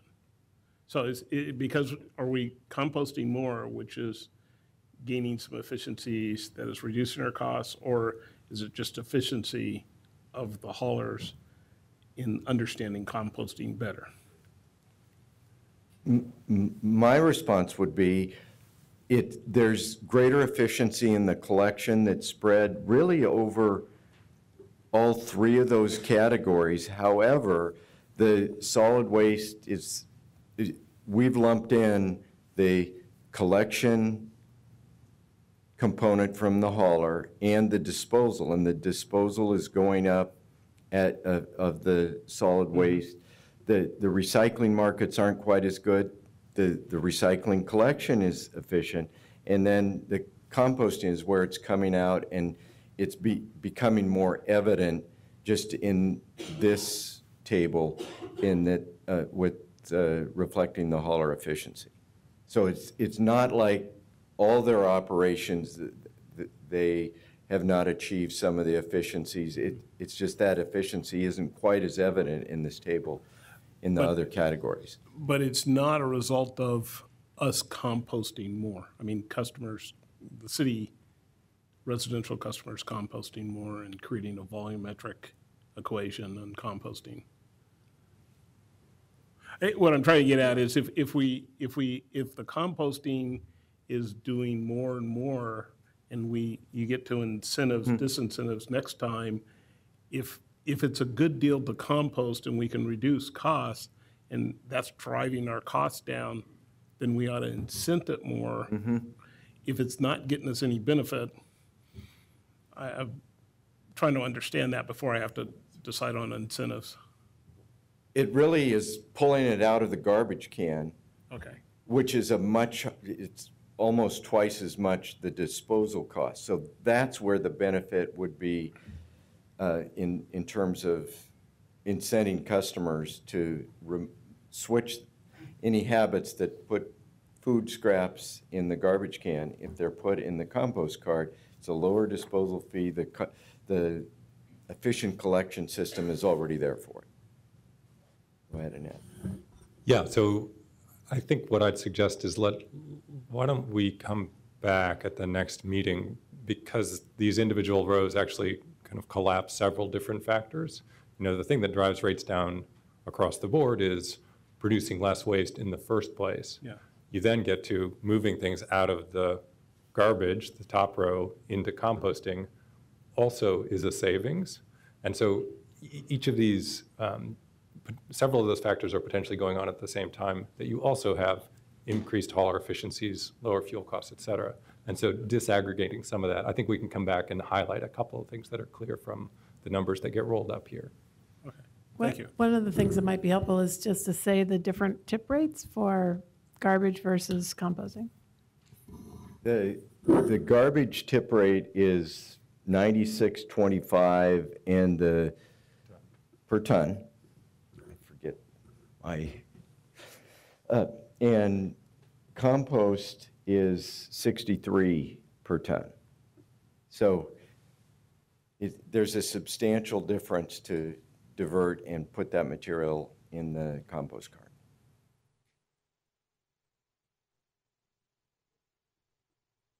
Um, I, I noted that the, um, the tipping fee for, for yard debris and compost went up by about four bucks per ton or seven percent. Does that have to do with the, um, difficulty of incorporating food scraps into the waste stream and the, the challenges they've had with that? Well, it, it reflects the two primary facilities, compost facilities, operational costs. A- And one of them is in North Plains, and the other is further down the Willamette Valley, uh, south of Monmouth. So the, it gets to their operational costs. It, all the material is delivered to Metro transfer stations, and Metro sets these rates uh, that include the transfer to those two facilities and arranging or working with those facilities to develop those tip fees. So it's, it's a reflection of the costs, though those facilities have put in additional um, uh, aeration units and uh, other considerations, uh, operational considerations at the facilities to address bringing in the food scraps and making it into a valuable soil amendment. Um, Do you know how this compares to the commercial rates for the same apples to apples? A companion question, it's sometimes hard to count units. You walk around, it's hard to tell if there's four or five units in a building. Take some sleuthing. I'm just curious how you guys make the determination, or does the owner make the determination? Because there's probably no checking going on.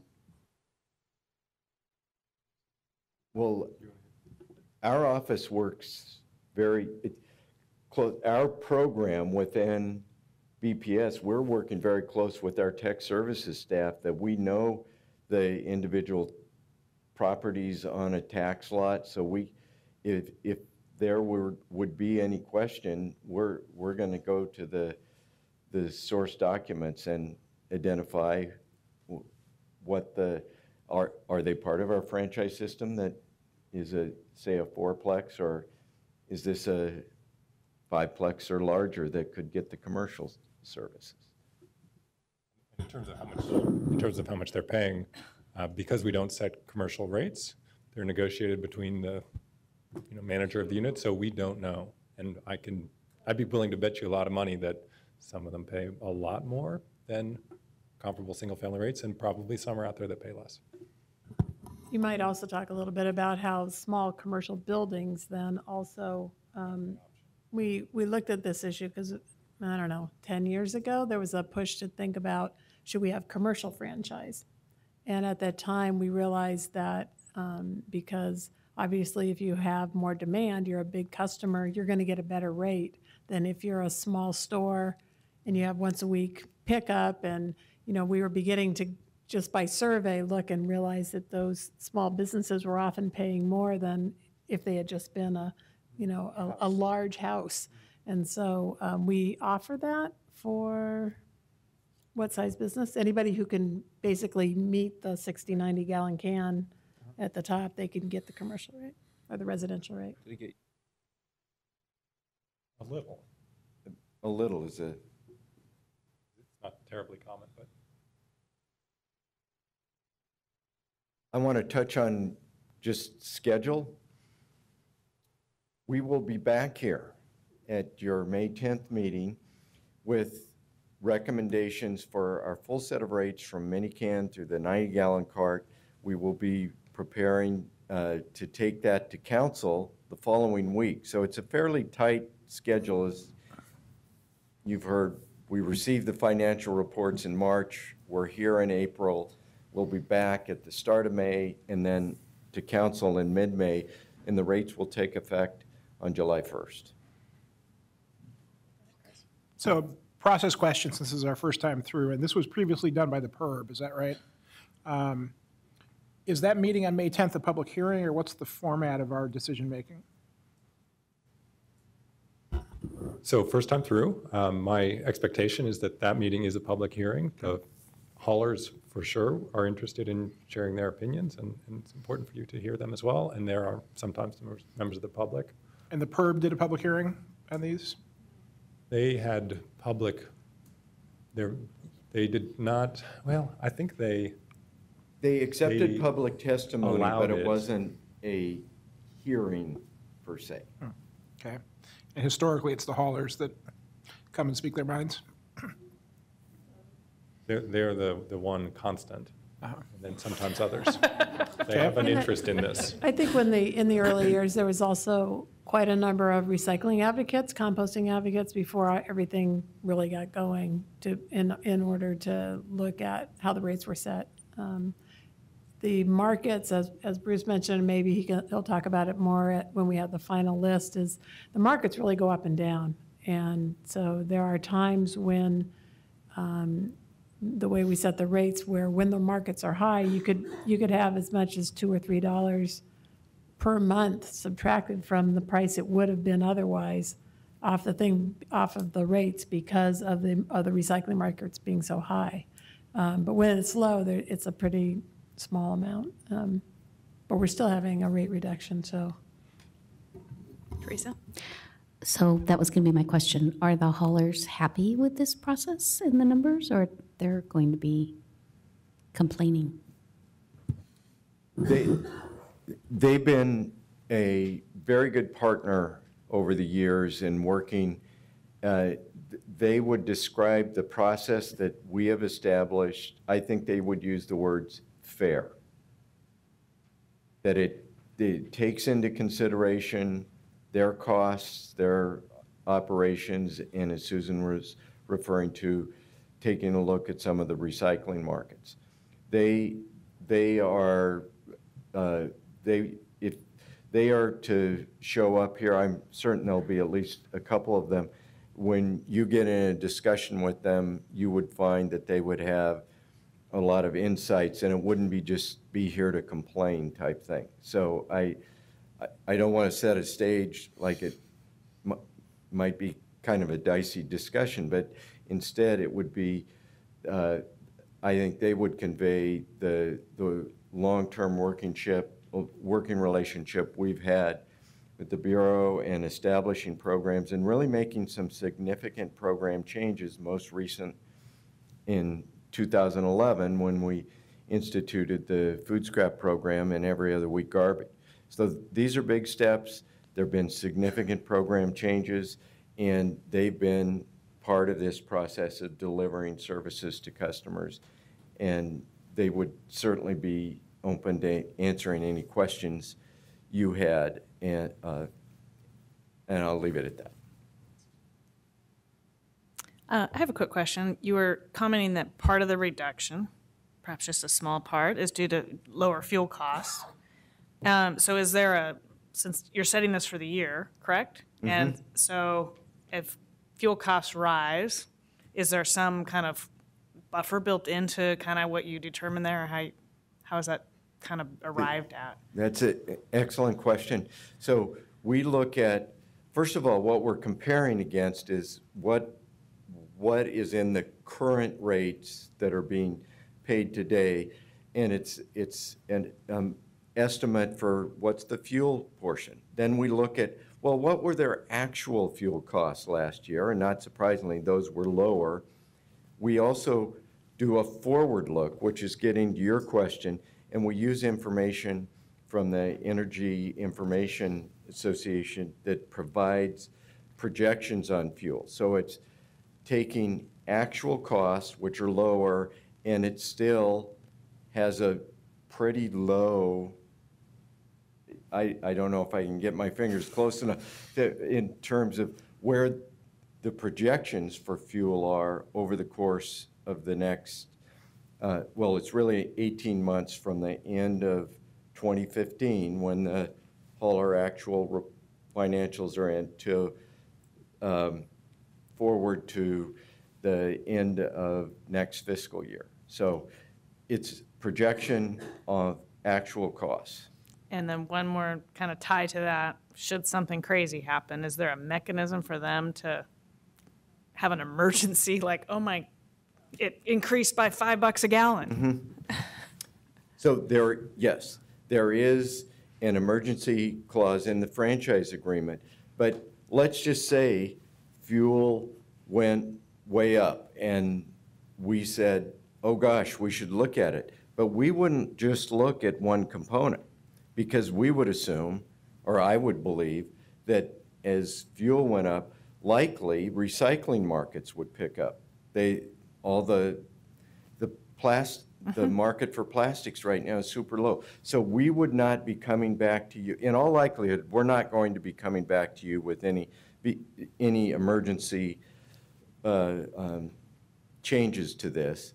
But if something happened that caused uh, uh, us to take a look at it, we would not look at just one line item that was in isolation from everything else. Makes sense?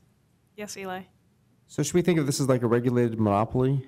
Uh, Okay, but it, with a little twist, that if an operator decided, I hate this system, they could just walk, right? They could decide, I'm just doing commercial, um, or they're under a contract where they have to perform for the whole year, or could they just say, I'm out of here, and then you guys would bid out that piece of the franchise to somebody else? How does, how does, can someone, can someone just say, take it or leave it, and just say, I don't really like what you guys are doing here, I'm just gonna do commercial hauling from now on? They, they could. Um, What, what happens in actual reality is that they sell their franchise to another company because it is a way to make money, and so there's value to that. So 15 years ago, there were 35 or more haulers. So this has happened over the years as people have gotten out of the business, they're selling to each other. We have a floor or a ceiling that no one operator can have more than 40% of the market so that we don't, so it's encouraging small business. Other cities have one hauler, or they might have two or three. Um, We've continued to there's still a lot of family businesses, um, and we've continued to support that. Carrie? Um, About how many households are covered by the residential program? 150,000. 150,000?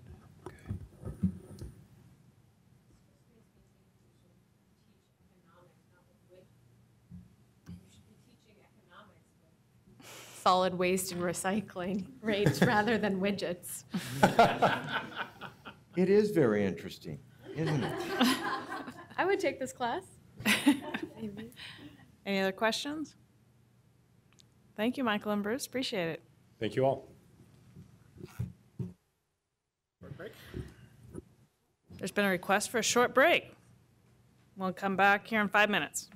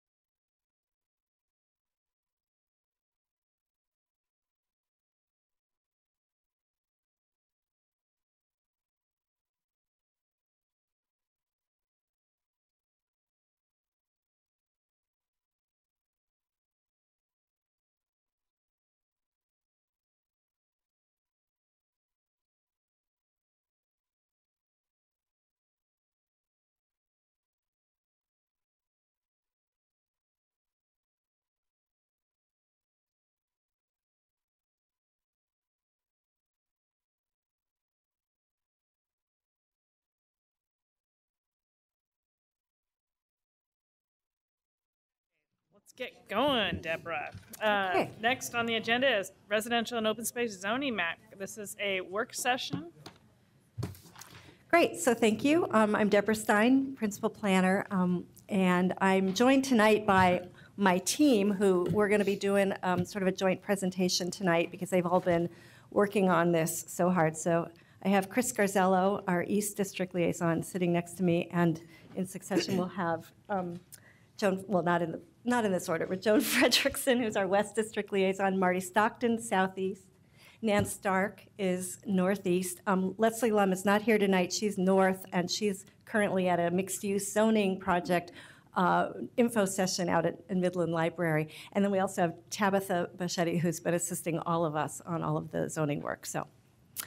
Um, So we're here following up on our uh, public hearing that you held two weeks ago tonight on the residential and open space zoning map update. And just as a refresher, um, the March 2016 proposed draft of the uh, residential and open space zoning map update, um, we looked at four categories of zoning map changes. And so the first was to correspond with the 2035 comp plan map changes that are, as you know, at council right now um, for their votes on amendments.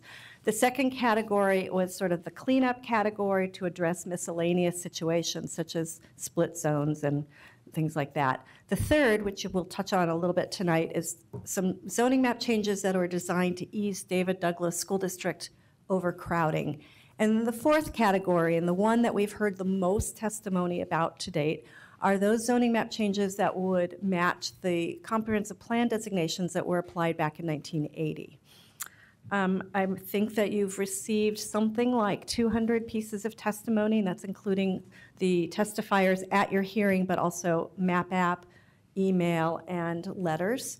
Um, we summarized the testimony that we've received up till this point in the memo that um, is dated April 21st. And in that memo, we tried to group testimony by theme, just to help you start to digest what are the big issues, rather than you look at each and every piece of testimony one by one. We tried to group them in ways that you could start to see what the common themes are. And those are some of the things we'll be talking about with you tonight. Um, I think I want to just touch on what I'm hoping to get out of tonight's work session. It's, um, we're looking for general direction from you um, to give us direction about what goes into the next iteration of the zoning map. So we're, as I mentioned last time, and I'll mention again, we're going to be pulling together the residential and open space zoning cha- changes along with the employment, the mixed use, and the campus institution all into one consolidated zoning map. And that's going to have another round of public review and another public hearing. So what we're looking for you to do to offer us tonight is some provisional direction based on what you've heard so far, knowing there's more testimony coming in and knowing there'll be additional information. But based on what you've heard so far, we'd like some direction about what should go into that next zoning map. So if there are some changes from what are in, what you see in the proposal that's um, in front of you now, you can give us some direction to make those changes, and those will be incorporated into the composite zoning map that will be published in June. So again, we're kind of looking for nods, not an actual vote. It's nothing you're having to commit to long-term. It's just the, what do we do next as staff? What would we want to mix, um, put into that map? So, um, so we're going to present to you some, uh, some choices and some issues, and then ask for your direction, and, and then you could give us the direction as we run through some questions. Um, so what I um, propose for a structure for this work session tonight is first um, touch on uh, the questions and answers that I provided in the April 21st memo. I took the questions that you asked at the conclusion of the hearing and provided some written responses to those. So if there are any additional questions or follow-up questions, we can do that tonight.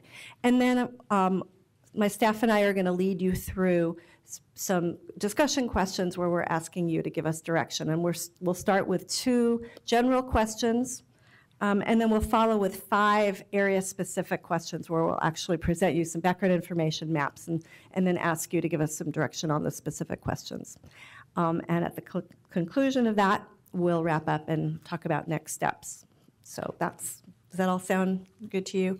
And one thing I, I meant to mention a minute ago when I was saying that we're looking for direction from you, if there's um, a split kind of sentiment amongst you, if you're really not sure, I want to encourage you to err on the side of proposing a change that would go into that next version of the map because we want the public, both affected property owners and the general public, to have as much time and as many opportunities as possible to provide feedback. And it's easier to do that if there's something on the map that they can respond to. If we pull something off the map at this point, it's a lot harder to put it back. So, you know, if in doubt, err on the side of putting a change into the map so that everybody has yet another chance to, to weigh in. Does that make sense? Okay. Um, So let me just start by asking if there are any follow-up questions you have to the Q and A that was in your April 21st. I, I don't think I need to go through all of these question and answers unless you'd like me to, but if you have some follow-up questions, I'm happy to start there. Were there any questions? Are you all reading it right now?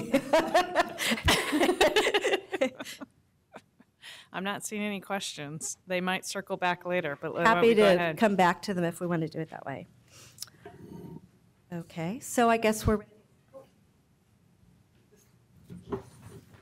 Is, are these questions on the whole Q and A, uh, on the, the several questions that you answered for? Right, that's why I thought we'd start there. But we could also come back to them if you want to follow up later. So um, I, I have a couple on the related to the questions I posed last time. Okay. Um, I- was a little disappointed in the, um, one of the questions I had posed was the economic distribution of, the- of the rezoning. And basically, you, you provided a pretty limited answer, which was around displacement of low-income tenants, but really didn't, weren't able to take on the question of, are these middle-class and working-class properties that are being in, in, that are being swept up in this program as, uh, and is there any difference between properties in the rest of the city? And I'm, I- I'm wondering if there's not a way, you know, since we're not making a final decision tonight, I'm just wondering if there's, if there's not some way that we can take a look at that question a little bit more. My underlying concern is intergenerational wealth transmission, and that really, that's the way working people, working-class people become middle-class people. And if it disproportionately negatively affects that population, then I think there's a really deep policy issue here that we need to address. So I'm, you know, I, I'd be, Mhm. I will volunteer myself, you know, to work with y'all Yeah. to try to figure out some methodology for, for dealing with that question. But uh, can, can you comment a little bit more on? Yeah, no, and and I think it's a really good question. One of the things that um, we hear in testimony is that some of the things we're proposing will diminish property value, and in fact, I think they might um, augment property, they might increase property value by allowing more options on a particular property. So for the wealth, um, you know, wealth creation for, for um, many property owners, maybe longtime property owners who, who are middle class or lower income, but they're having the ability to do more with your property would actually increase their, their wealth creation, their wealth Mhm. potential. So it has, so I think in some cases, some of the um, comments about diminishing value are really a little bit of a w- diminishing the character. It's, it's perceived as a diminished value, but it actually may increase the property value, um, even if it may not be a favored change for some people who are, who are opposed to the change. So it's a little bit of a mix. Um, we are very concerned about displacement. We're very concerned about making sure we look at any change that we propose that might prompt um, the displacement of tenants or of lower income um, residents in some ways. But I think that we really need to look at each area individually. There is a question you'll be seeing in, in the next slide that was posed about whether there's any racial composition that could be changed in a, in a transitioning neighborhood, maybe a previously uh, majority black neighborhood that may be shifting to majority white, and is there anything in this um, zoning change that might, you know, trigger that change. And, and we're looking at, well, how, how are ways, we'd love to, to have more guidance on ways we could look at whether that zoning change by itself is actually prompting that kind of change. Yeah, so if, if there's just some way that we can lay that out with a little bit more detail, so we can say, well, if property values increase, here's what's likely to happen and who's, who's likely to benefit. If they decrease, here's what's likely to happen and here's, here's who's likely to not Mhm, benefit. And mhm. So ju- just so, so we're one layer deeper than just kind of the principles of. Yeah. It might go one way or another. And, and one of the things that I put into that response that I would like to elaborate on um, as we gain more tools for evaluating this is, um, I think we're directing ourselves to always look at who benefits and is who, who's burdened by any change. And so we need to com- continue to learn new um, evaluation tools to have that kind of data and that kind of evaluation so that we're always applying that, that question into our evaluation of, of any land use change that we propose. So Okay. I do appreciate the question. So, Thanks, and Deborah, tied to that, is there empirical data that you have that kind of tracks, yeah, if you take something that's R5 now and make it R2.5, it's a increase or a decrease? Because I'm sure everyone's coming at it, like you said, with their own Yeah. thought of, some people are thinking, now I've got more density, therefore it should be worth more, and there's other Mhm. people thinking, now I have an apartment next to me, therefore it's worth less. You know, my, my property's worth less, in their opinion. Yeah. Um, We've, we have asked um, our economics team to, to give us some, some data, so we're not just going on anecdotal, you know, information when, when we are looking at that. I think some of it's situational and location-specific, but I think that we could probably come back with some, some better data to look at examples and case studies to, to evaluate Great, that thank in you. a, in a better way. Okay. Go ahead, Maggie.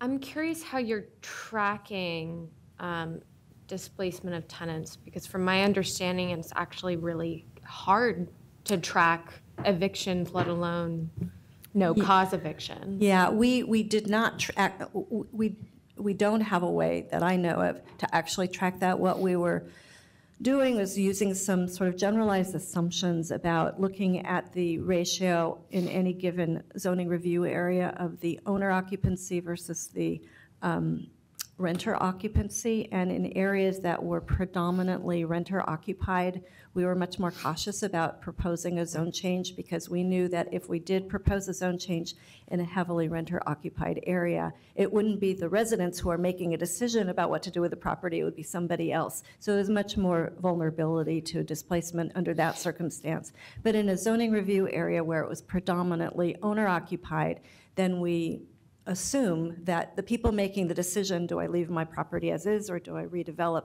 are the people who, who are living there, so there's not going to be a trigger of displacement of the immediate area. Now, whether there's a, a ripple effect is much more, hard, much more difficult to.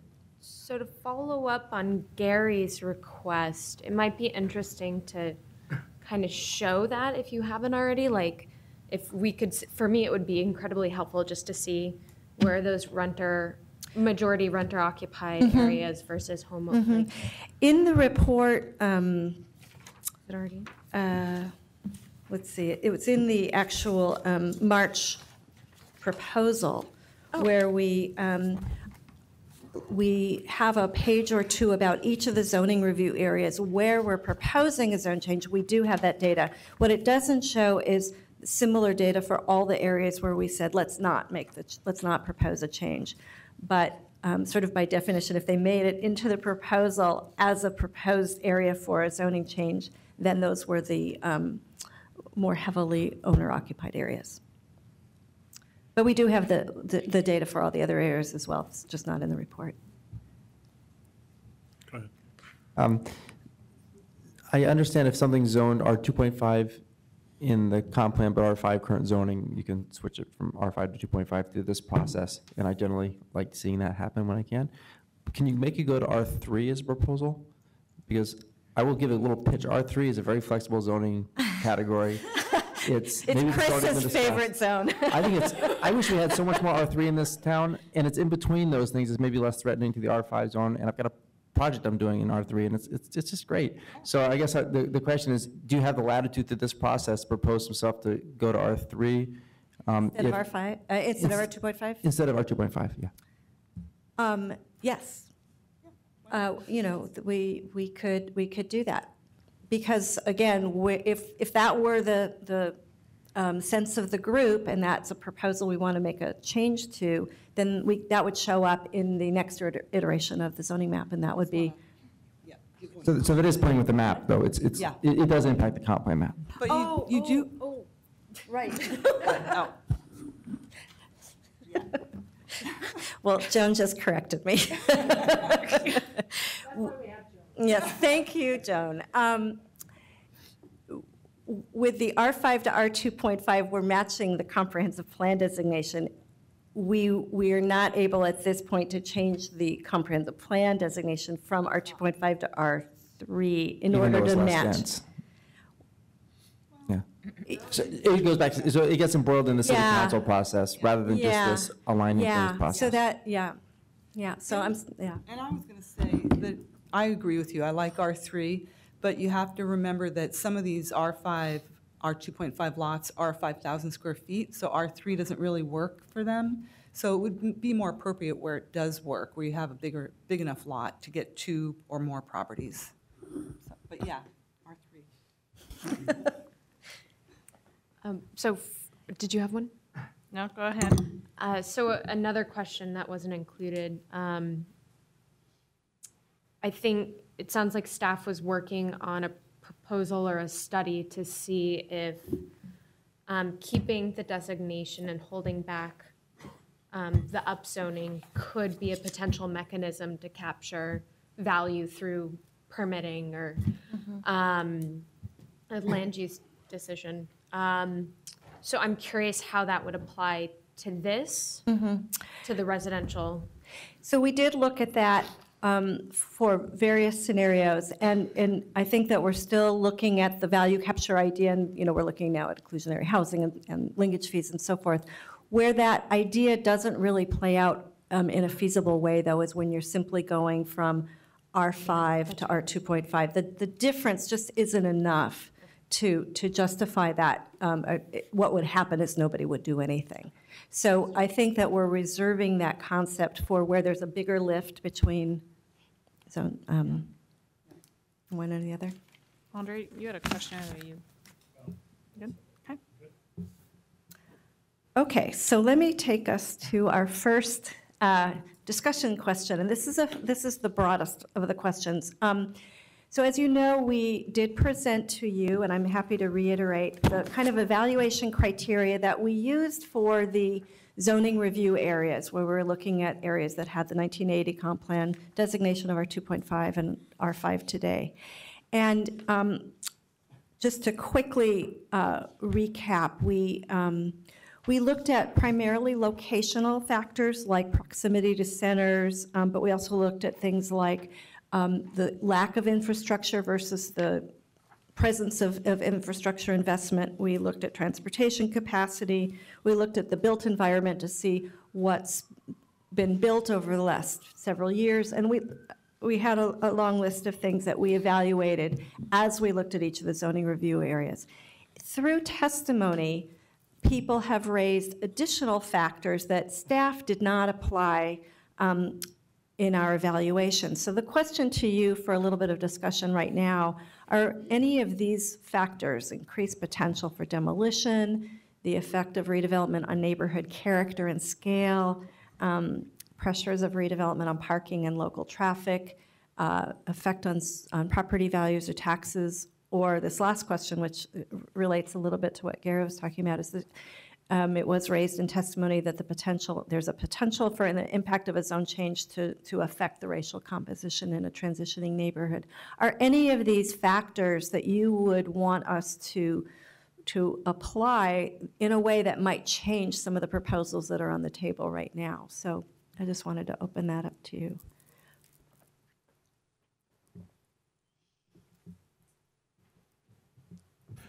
Um, I, I would like to see C, but more in the context of what Gary's talking about and, and what Maggie is talking about in terms of, um, you know, um, do we have some data to support that the zone change will cause or does, does cause a change, and if, if it does cause a change, then does it cause a, will it cause a change in areas that have, or working-class neighborhoods, and, and potentially either help them or hurt them, or in neighborhoods that have racial diversity and, and diminish the racial diversity, especially in areas that are um, either home ownership, um, that are working-class neighborhoods, or high rental um, neighborhoods. I do have, I'm, I'm reading something that um, I was uh, given just before the meeting to help respond to that question a little bit. Um, And this has to do with the Piedmont neighborhood where this, the E, the uh, piece of testimony was raised by somebody in Piedmont where this was a factor. Um, And, and Leslie said that the Housing Bureau's North-Northeast Housing Strategy will be investing money into affordable apartments, but also home ownership opportunities. And Piedmont was the only um, zoning review area that had been predominantly black historically and is undergoing some changes.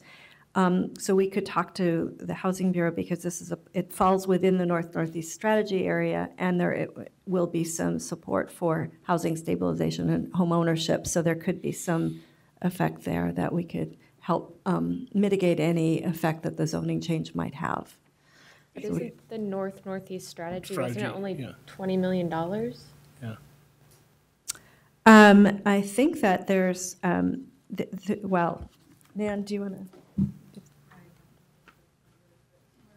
I think it's been, I think the original 20 million has been supplemented um, uh, with additional investment. The, um, I, I guess the, the other part of that is, I know the Housing Bureau is looking at around, not only in Northeast, but they're looking around, um, uh, Powell Division about a home ownership retention strategy, um, in different areas of the city. It seems to me we, we would want to, um, be consistent with their home ownership and retention strategy as a bureau in at least not hurting their efforts and trying to encourage their efforts. So I would want to make sure that our zoning is not hurting, at least hurting their, their Okay. efforts and we're in those same areas. And I'm, I know it's north and northeast, but I know they're also looking at the Powell Division strategy um, with the BRT and some other areas out in Lents um, too. So Okay, uh, an alignment of strategies, I Mhm. guess. we'll look at, we'll look at that. I need a little, might need a little catch-up. So these are the things you've been lobbied to include as factors. These- right, Where's these- the list I could read of what you did use as the factors? Oh, okay. Um, I was just looking in my packet. to- Oh, okay. In the April 21st memo, there is a um, list on page Five? five, is that? Oh, proximity centers, okay, I got it. Right, and, and that's, Okay. and, and there's a bit more information in the original report, but this is kind of a recap of what, what we did look at. And our evaluate, our evaluation was taking all these factors kind of on balance. So we looked at them, um, there was no one factor that would trump the others, but it was looking at the, sort of the equal weight, and then in some cases, something was a little bit stronger, in some cases, something else was a little stronger. So it was, um, really a balancing of these factors. Um, I will also say that slope hadn't originally been the- one of the factors that we had considered, and that came out of a, um, a community conversation we had in, in the Mount Tabor area where they suggested that ought to be considered. So we added that to our evaluation, and as a result of relooking at the areas that did um, affect our recommendation in a couple places because we hadn't taken that into account originally, but then once we did, it affected our recommendation. You know, I'm, I guess I'm, I'm a little shocked that E was not considered a factor prior. Um, particularly, I mean, when we're looking at affirmatively furthering fair housing, when we're talking about equity citywide, I'm, I'm, I'm, I'm shocked that E was not in your original list of considerations. Um, you have displacement, but it looks uh, race neutral. Um, So I'm, I'm just, I'm just a little affronted by that.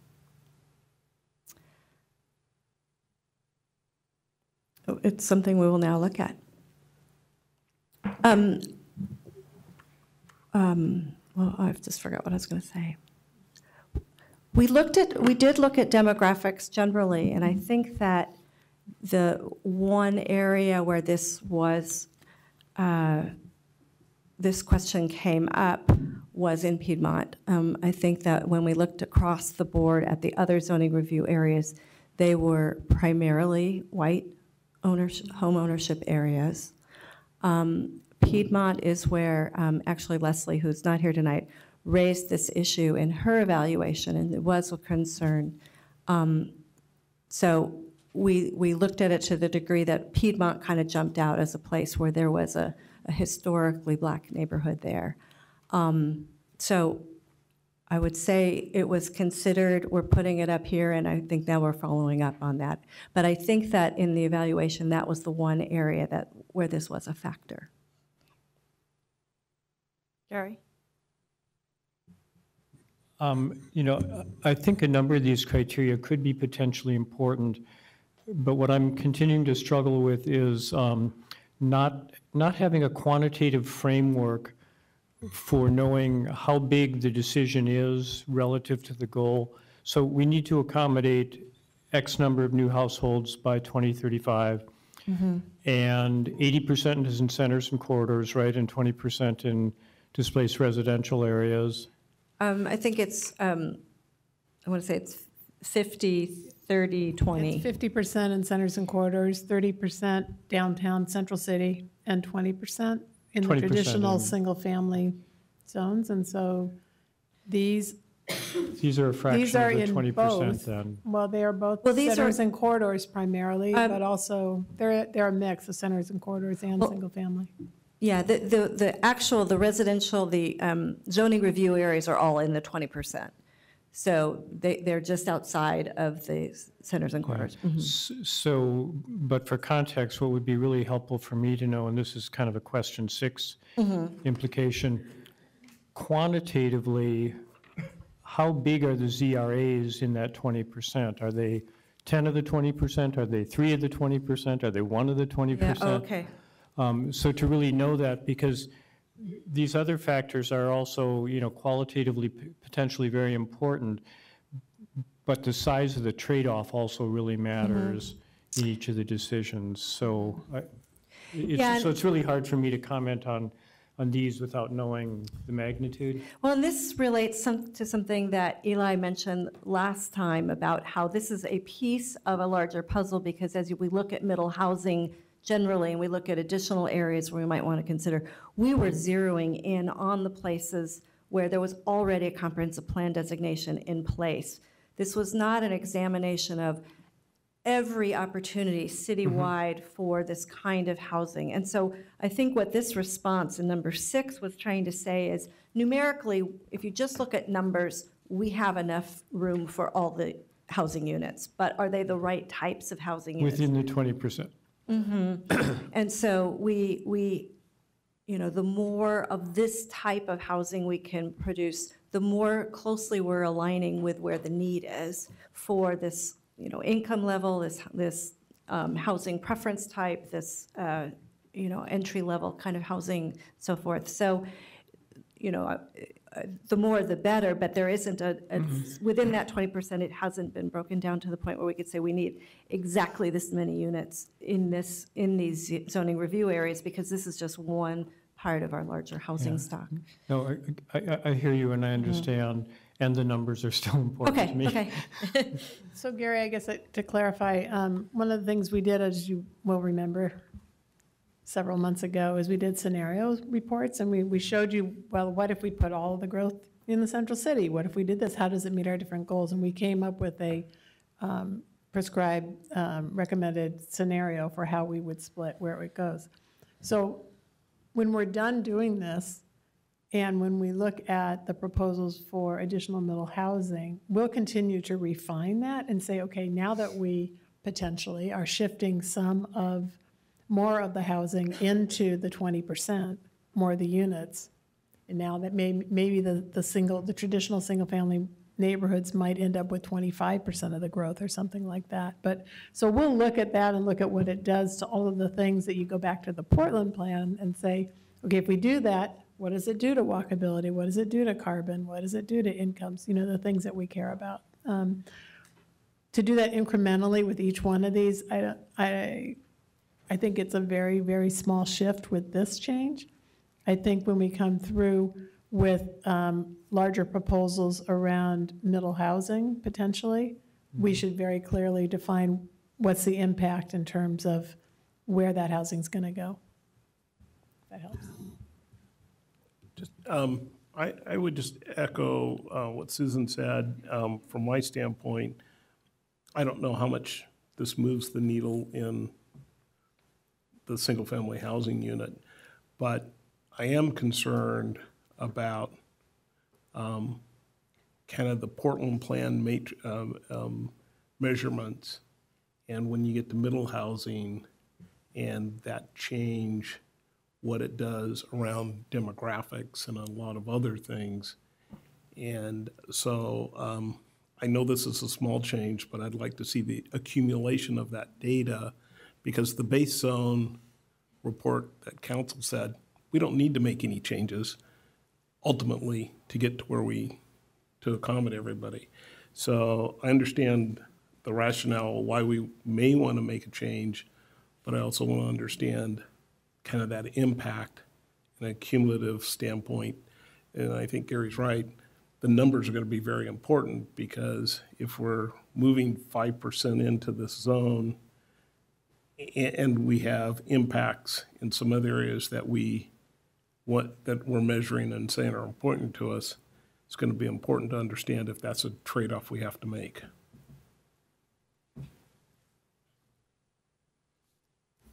Teresa, then Eli. So D, I think D is interesting in a kind of a higher level discussion as opposed to a specific place by place, you know, totally crazy detail thing. But um, just, yeah, I think you alluded to it a little bit when you were talking before that changing from an R5 to R2.5 might not necessarily do what people think it's going to do in terms of property value. So I, I think sort of a general discussion that maybe just talks a little bit about the economics of, of zone change, if you will. And so I- I'm, I'm assuming that all of these suggestions for further inquiry, inquiry would be things we'd be bring- bringing back as part of the composite zoning map discussion so that we're informing those, those changes. Okay, um, I think that would be useful to have that, that examination. Eli? Okay, so one possible task and then one impossible one. Um, the possible one is to think, sorry, yeah, the possible one is to not have on the list any tool that would, that really is there to prevent development or redevelopment in certain parts of the city. Like that, that's not a reason for zoning. Um, so if there's a sense that the advocacy for some change is really just to keep things as, as it is, that, that I, I, I'm hoping that that's sort of like a, a not on the list. It's not on the list right now, which I, I like, but, um, um, but it's, um, I've heard in East Eastmoreland, if they lose the votes, they're talking about like becoming a historic preservation district or something like that. I mean, that's, I, I would like not to see zoning used as a tool for that, for that purpose. So, um, that's, that's the, the possible thing. And then the impossible one is, I mean, demographics, like, we've got a heck of a lot of one and two person households, a heck of a lot of the city zoned for perfectly big three, four bedroom homes. So there's already a mismatch there. Um, And the part, reason it's an impossible thing is we don't know what the rules are going to be for the single-family zoning code yet. I mean, it might be that in that box you could do little units, right? So it's hard to count, but, um, but generally speaking, we have a lot of the city zoned for really large households that don't exist. Um, And so that, that I think would be nice to have as a criteria, either for this review you're doing here and/or for what you can do in the residential zoning project.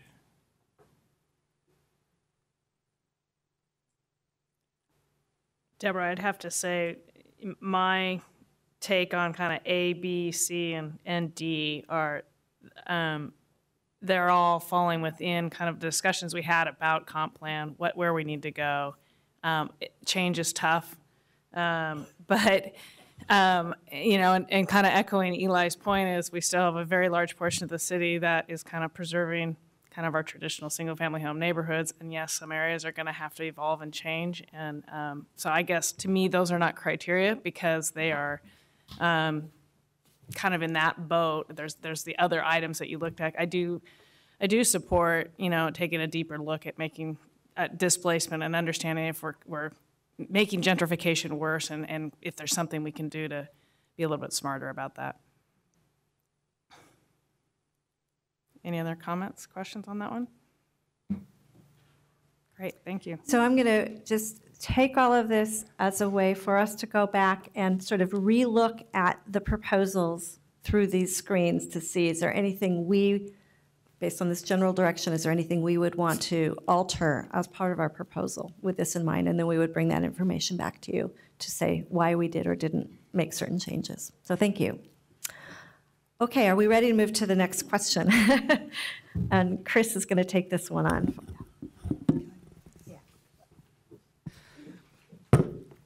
Okay, so pretty simple question. Um, Does the PSC generally support the proposed zoning map changes in the David Douglas School District, which is a temporary reduction of the development potential? So it's kind of opposite of what we've been talking about.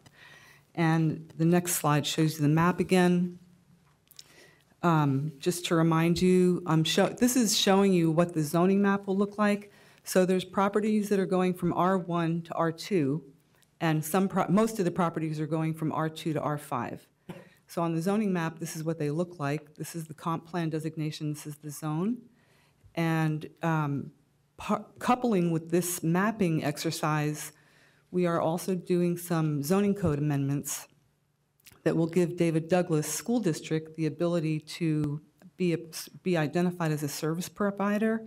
And so they would get applications for both zone map amendments and land divisions and have the power to say no if the capacity within the school district of the proposed change can't handle the new development that's coming in. Um, That's all the details I have right now. We're still working on that change, but you will be, it will be coming before you. Um, So that's, this is a two-part package. There are about 76 properties on the map, and they're all outlined in red, so you can kind of see them along Powell Boulevard. There's a couple along Division, um, along, uh, I don't know what that street is. And then um, Star- we have Stark, Burnside, and Glisan. Um, So there's about 13 properties that are actually coming off the map because I've heard from a few property owners, the properties are already developed and they were misidentified as having capacity. So there's actually about 63 properties that we're talking about. It's not a lot.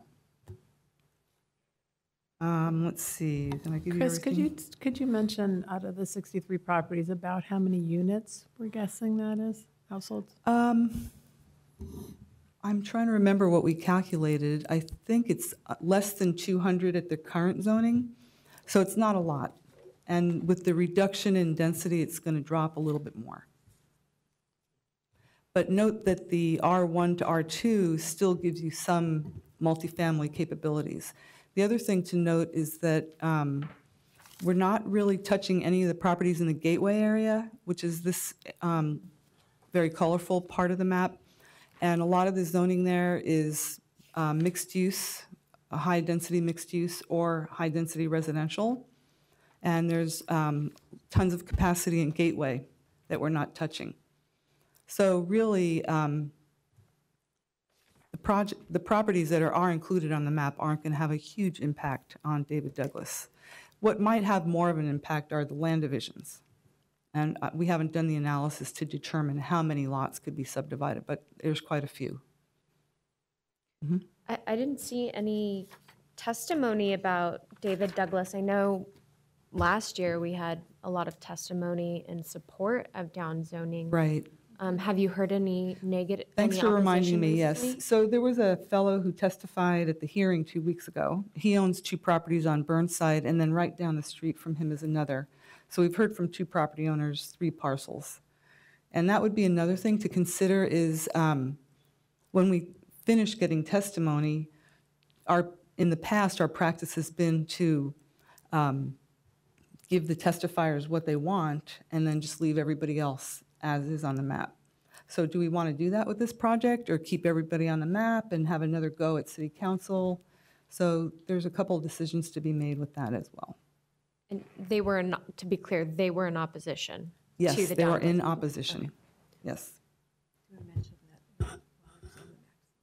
Oh, yeah. And the, um, Deborah just asked me to tell you that I looked at the um, distance to the transit station area for these two properties, and they're outside the quarter mile walking distance to the transit stop, which would give us some, you know, general guidance on whether or not to keep them on the map or take them off.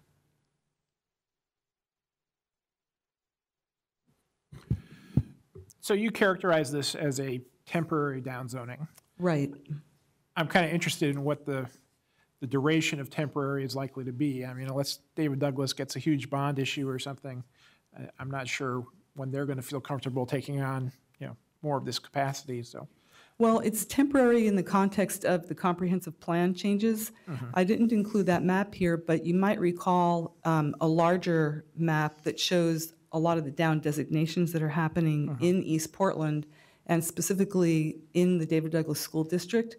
So those aren't temporary, they're permanent until we get back to the comp plan in another 25 years. So we've actually reduced capacity on quite a few other properties. And those include changes from R2 to R5, R2 to R2.5, R5 to R7, and then we uh-huh. have the hazard down designations, which are going from R10 to R20.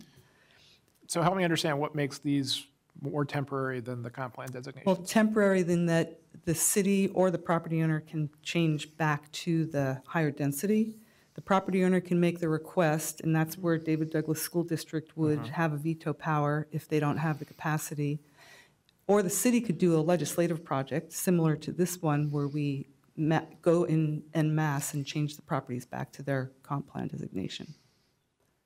So temporary in the sense that there's a change possible, but it's temporal, it's So if we, so for the folks who testified, if we don't honor their requests, um, they'd be in the position of having to go to David Douglas and say, you know, may I, and presumably go, there's a fee associated with that application process, right? Mhm. I do want to add that um, in all of our conversations with David Douglas School District, and we're having another one tomorrow morning, as a matter of fact, there's sort of a, an agreement or a deal that they're actively and aggressively pursuing a bond measure and a facilities plan, and, you know, with all due diligence, they're pursuing those, um, those opportunities to expand their capacity. So we um, agreed to make, a- propose a zone change, a zoning map change and a zoning code change, understanding that it was not going to just sit on the books forever, but that this, they were making affirmative progress. And we're going to have an intergovernmental agreement that sort of locks in their commitment to moving forward. And we may want to reexamine if, if nothing's happening, if they aren't able successfully to pass a bond measure, if they aren't able to do some of the things they're pursuing, do we want to reconsider? We're going to, we're to have that be kind of a, a, a firm commitment for both of us. We're each putting something fo- forward to help each other to move past this challenge. So similarly, if, if they did succeed in a bond measure or some other capacity increases, is there some trigger built in that we would revisit these zoning choices right here? I think we could put that into the intergovernmental agreement. Thank you. Um, And, and the difference, again, between these down zone proposals and the down designation is where we proposed the down designation in the Powellhurst Gilbert neighborhood. That was based on a whole combination of factors with lack of connectivity, lack of services, lack of parks, and lack of school capacity, but school capacity was one of many. In these locations, we don't have that whole array of challenges. It's just the school capacity, and that's why we wanted to make sure we kept the higher um, density designation in place to signal that's where we think we should be at some point, if not immediately. And the only um, thing standing in the way is the school capacity, but everything else is in place. Well, I'm very glad to hear that intergovernmental agreement is in the works because I get a little anxious about ceding zoning authority to a school district. Um, and it sounds like they're doing some good initiatives there, but as people probably know, in other communities, school district capacity is used as an excuse for all sorts of stuff that, um, you know, saying you can't build anything else in a, in a community because the schools are filled up, right? Um, So I guess I, I like the idea that that's happening. I don't even know if it would make sense for us to, I'd like to see it at some point, whether it's through this body or some other. Um, But if, if we're going to be basically giving veto power to a school district over zoning designations where we've already decided as a city, we prioritize, you know, focusing development in certain areas, then I'd like to dig into the weeds a little bit on that. Absolutely. We, if- we fully intend to bring that agreement to you. I'm, well, uh, Gary?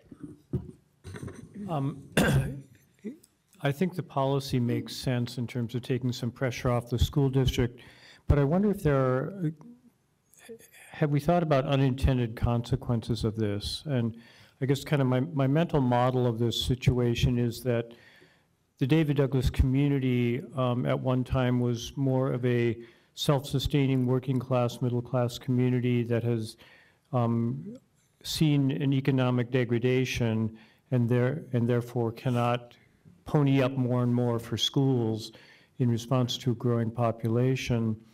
And I'm, I'm just wondering if there's, if we make this change, is it big enough or, is it big enough or important enough to um, set in motion some unintended consequences like a further, further down spiral? I mean, I, you know, we're, we're trying, we're trying to protect them from overpopulation of the school district, but is there, is there something bad that could happen? I think part of that was the question about how many units does this really affect, given over the potential growth for the area over the next 20 years? And so we want to look at that and just do a comparison because um, I think our hearts were in the right place in making this, this action, and I think it will have some impact, but I, I truthfully don't think that we have done this down zoning in a way that is going to, um, it's releasing the pressure, but it's not going to um, make it so that they don't need to build another school. It's, it's just Oh, kind of giving them a little extra time, I think. A little bit, but I do think pulling the numbers together will be real easy to Yeah. do, and we can do that, on that Um, one. And it just doesn't begin to address their, their real problem. I mean, the, the numbers, they're so far beyond their current capacity, and there's a lot of by right development. Because I want to remind you that this is only um, looking at reducing um, the ability to do a zoning map amendment or a land division. But if something is already um, allowed by right that isn't affected by a zoning map change or land division, somebody could still build an apartment building, and that will still have an impact on the school district. So this isn't a full building moratorium or mm. something that's just freezing things in place. It's sort of a tempering, but not a, a freezing. And The households will district would like us to go much farther than what we're doing, is, is, is the truth. I think it's a little futile. I mean, households displaced from closer neighborhoods will double up, you know, out there in David Douglas. So even if you didn't do any changes to the housing, I'll bet you get more people in the system. I was just going to comment that my impression is David Douglas has been a very successful school district in terms of serving its population. They have great outcomes. And so I like to see this partnership trying to help them and be responsive to the fact so that they can continue to serve this population, Mhm. give them the advantages that we've called out in the Portland plan, recognizing that, okay, you're going to need to find the money and, you know, we're going to try and help you tread water till you get there. But Mhm. I think trying to well, we may not be able to do a lot to help with the overcrowding, trying to do something I think is Yeah. appropriate and responsive to There is an- expressed. Thank you. Um, I was going to add, there is another thing that we're, we're working with them on right now is we've brought in the Parks Bureau and PDC to look at the idea of co-location and, um, you know, efficiently planning for site acquisition or even land swaps. So, so we're trying to get creative and be almost like a broker with, with the school district and their real estate folks and Parks and PDCDC. is there something we can do to help engineer a, an agreement that is mutually beneficial and gets them more land and, and a new site? Um, so this stems from my lack of understanding about how property taxes fund schools in the state. But um, do local property taxes fund local schools, or does that go to the state and it's distributed fairly evenly across the state? Primarily the latter. There is, there's some formula that's complicated, but it goes to the state and comes back to local governments. Um, Where they have a disadvantage as a school district um, compared with other districts is that their assessed valuation, in order to get a bond measure passed, is, is not that high, so that they have a limit to what kind of bond measure they can actually pass, and that's, that's been a deterrent. And, and there's also, they've had trouble recent years even having something pass, even at a lower level. Um, The population hasn't voted for it. So um, I think that, you know, they're really hoping this time around that they can, they can pass a bond measure. But, but again, um, we, one of the reasons, well, this gets into a whole other, it's complicated, but we, we were talking with PDC about any extension of a urban renewal district, for example, would have an impact on the bonding capacity for the school district. So that's where we brought in PDC to talk about, well, let's make sure we don't do anything through extension of a URA that might um, uh, tamp down the ability of the district to support a bond measure. So it's all very interconnected, and this is a, a a complicated puzzle. Okay. So, so thinking about unintended consequences, but otherwise sort of generally supportive of this, and we'll, we'll come in with numbers and, and another look at any unintended consequences, but advance these zoning map changes for the next iteration of the map with more discussion ahead. Okay, so I'm going to move on to our next question, and I'm going to invite up Nan Stark for this one. And This is an area specific, so you're going to start to see some more maps.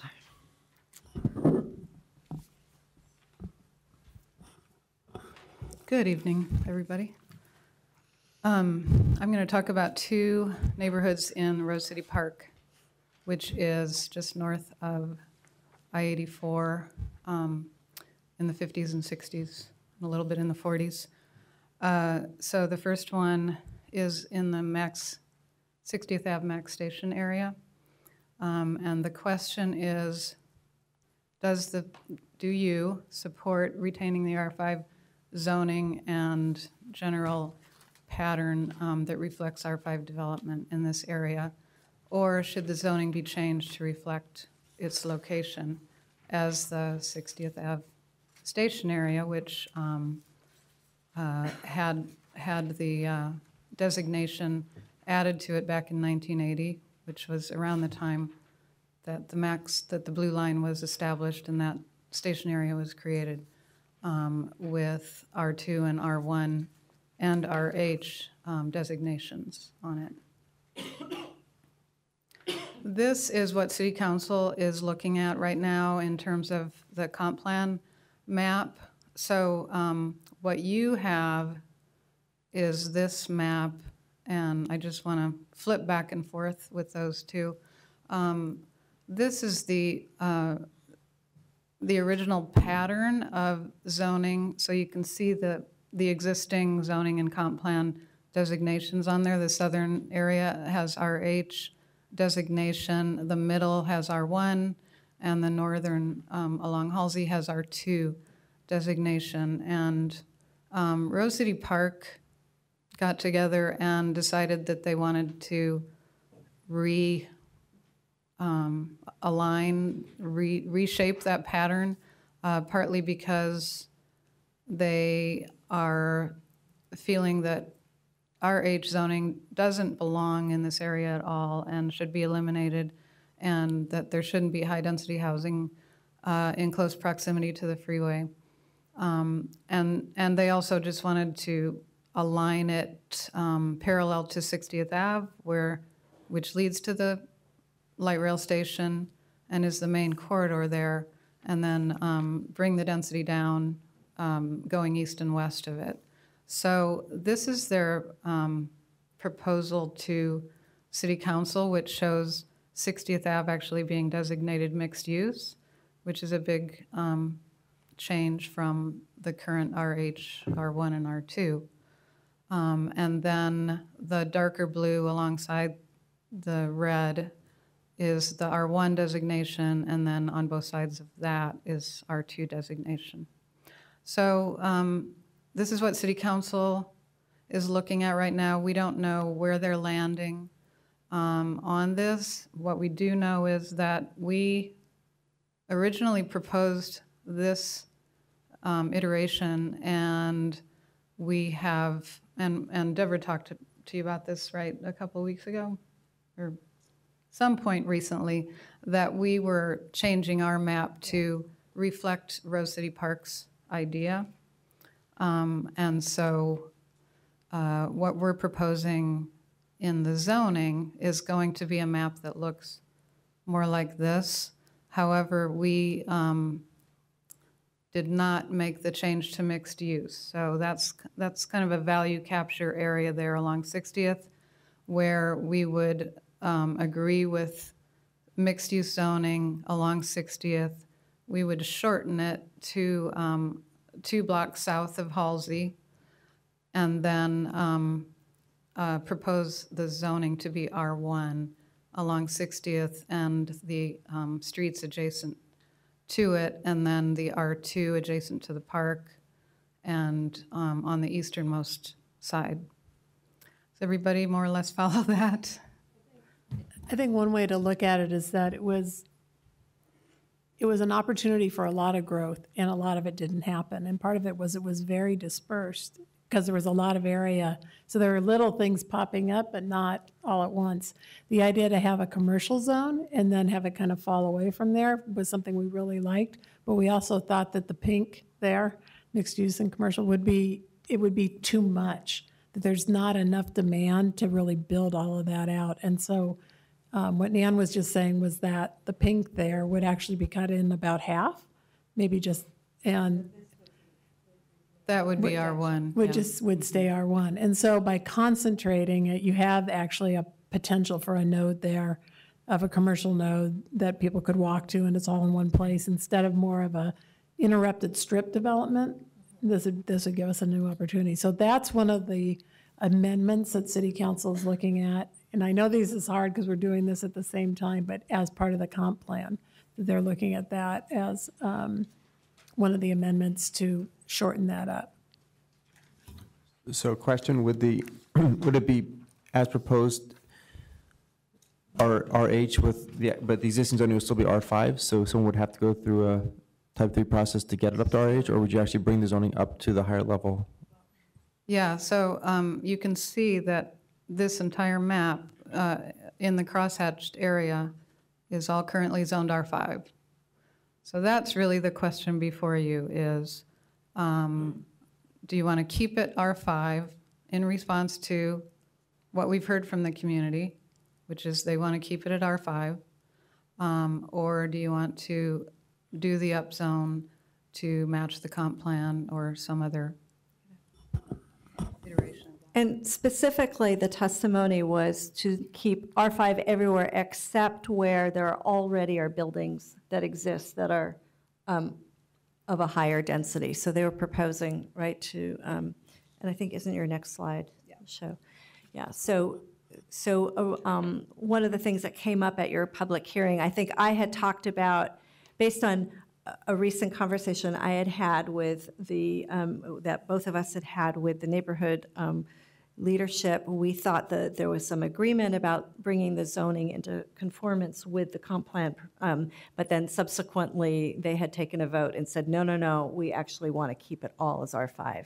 So that's the new testimony that's before you, is, is not to go ahead and make the zone change. Go ahead with the comp plan designations, but not the zone change.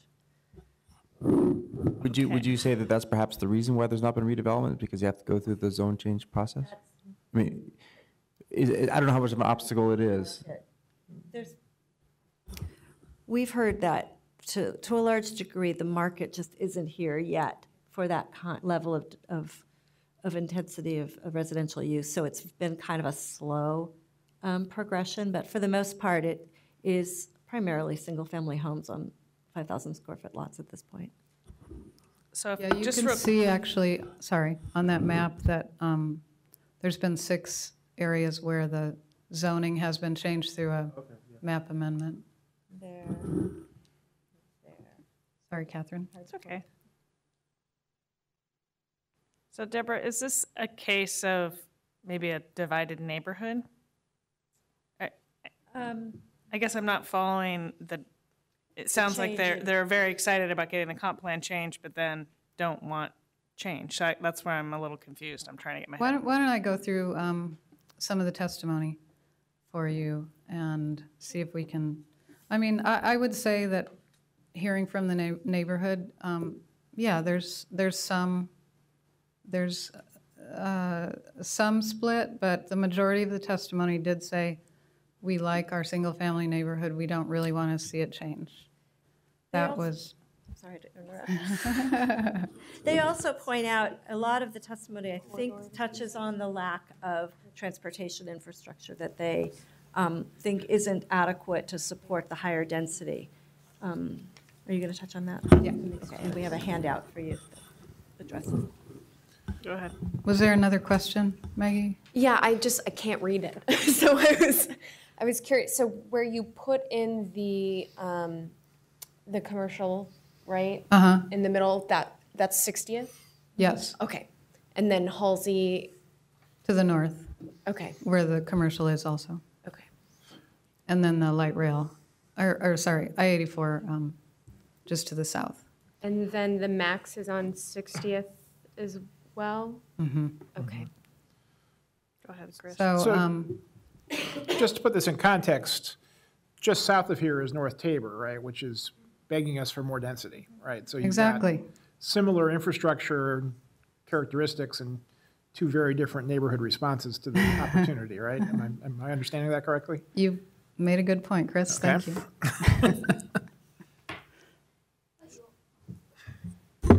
But you also have the Sandy corridor just above this that has a ton of commercial stuff and not, it's not all full. Right.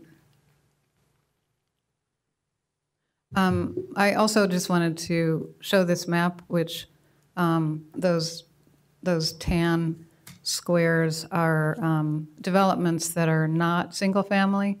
So in the neighborhood, there are about 30 properties that are developed with other than single-family homes. Um, About 20 of those are duplexes, and the rest are anywhere from triplexes to 12plex. There's a 10plex and a 12plex, um, the majority being triplexes. So it does have some mix. That represents about 20% of the area. There's about um, 200 properties in this zoning review area. So of that, about 30 are developed differently than R5. And some of those are on lots that are not zoned R5 also. Um, Some of the testimony was about the lack of improved streets. So there definitely is an issue um, internally. The bottom slide is showing 60th Ave, which is almost entirely from Halsey to um, the light rail station, developed with single-family houses that are built pretty close to the, to the street. Um, So there's not a big front setback there, and the sidewalks are literally about three and a half feet wide. So you're dealing with, um, you know, some, some kind of big transportation constraints as well. Okay, we'll stay on that. Um, Very briefly, I just want to go over the other, so, so the number one uh, testimony was, we want to preserve our existing character and the scale of the neighborhood. Um, Number two was, um, and the rest of these aren't in order of magnitude of testimony because they were all pretty equal, but definitely everybody did talk about preserving this, the single-family character and scale of the area. Um, The, uh, the neighborhood association in particular talked about health concerns of high-density housing being located near the freeway, and that they didn't want to see that happen. Um, Another big one is inadequate infrastructure with the unimproved streets, um, not a good bike network here, the narrow sidewalks. Um, The fourth one was that this is a, this is a stable area of affordable owner-occupied houses, um, some apartments, and that a change could have an effect on affordability and also cause some displacement if it were to become, um, you know, more of a place. And then finally, um, a few people raised the fact that this is kind of operating as an unofficial park and ride area and that parking would, you know, be more exacerbated um, with higher density.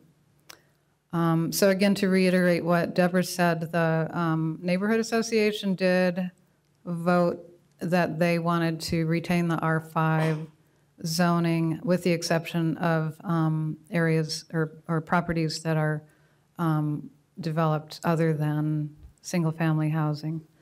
Um, So that map that I showed you um, would, you know, if, if you were to adopt something like what they're suggesting, you'd have a pretty spotty map, but, um, you know, not that that needs to be a decision factor.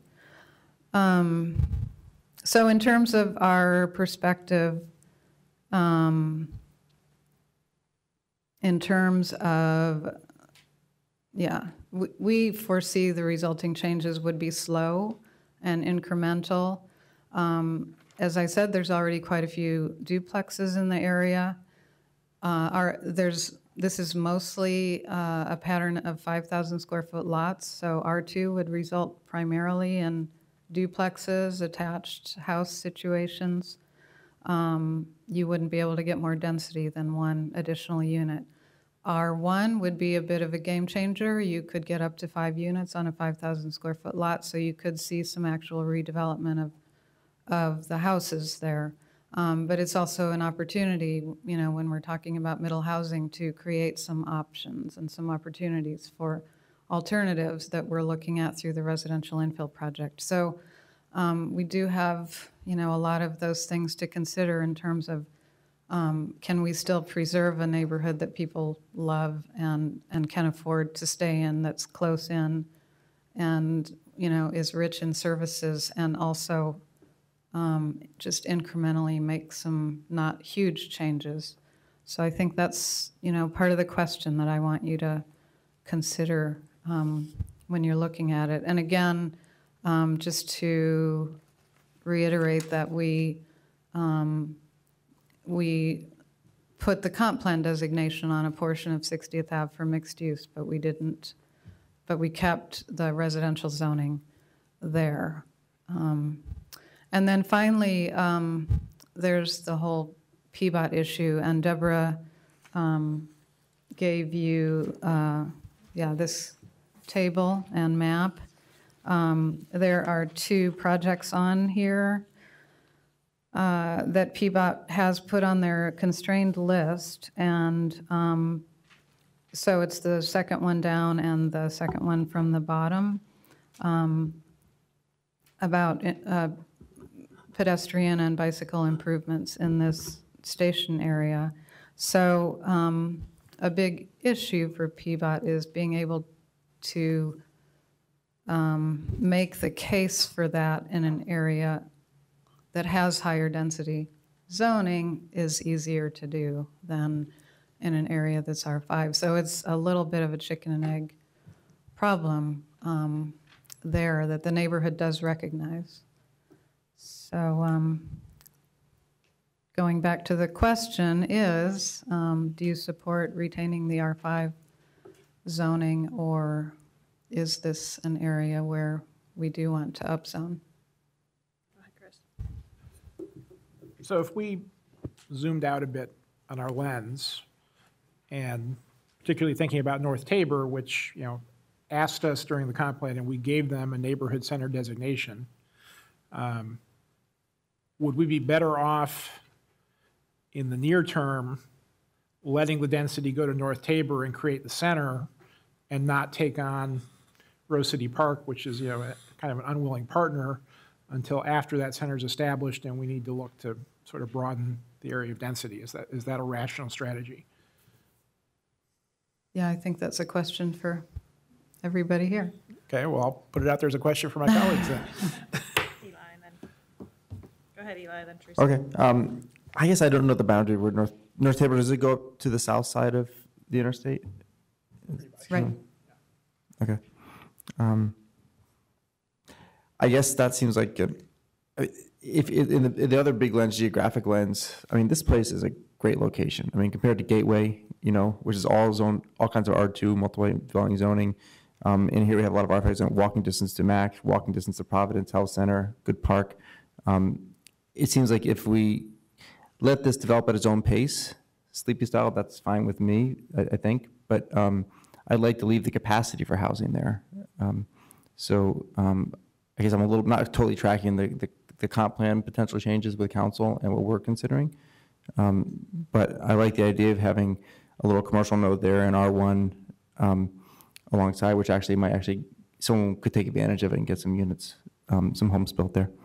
Um, But I'm, I'm intrigued by Chris's idea. I mean, I think that if the, I mean, you don't have to cross the freeway to get to a lot of this stuff if you do it on the south side.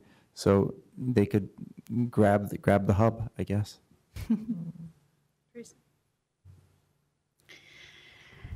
So uh, 53rd is a bike street, so that's only seven blocks away from 60th. Um, I think that because of what's already been developed there, it's a prime area for our middle housing experiment.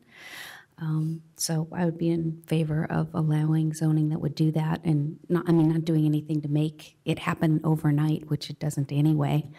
And then regarding um, Tabor, why not have both? We certainly need that much housing in our city.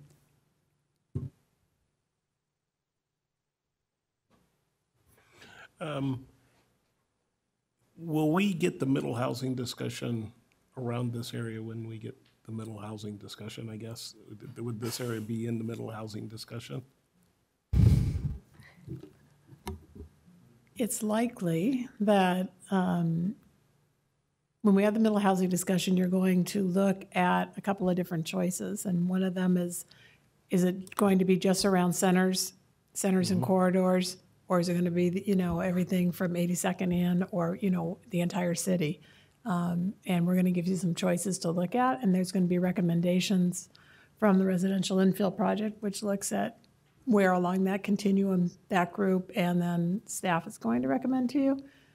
Uh, So this one's kind of on the border, depending upon which end of the continuum. You know, it's not, it's not, you know, 39th and Belmont. Belmont, So yeah.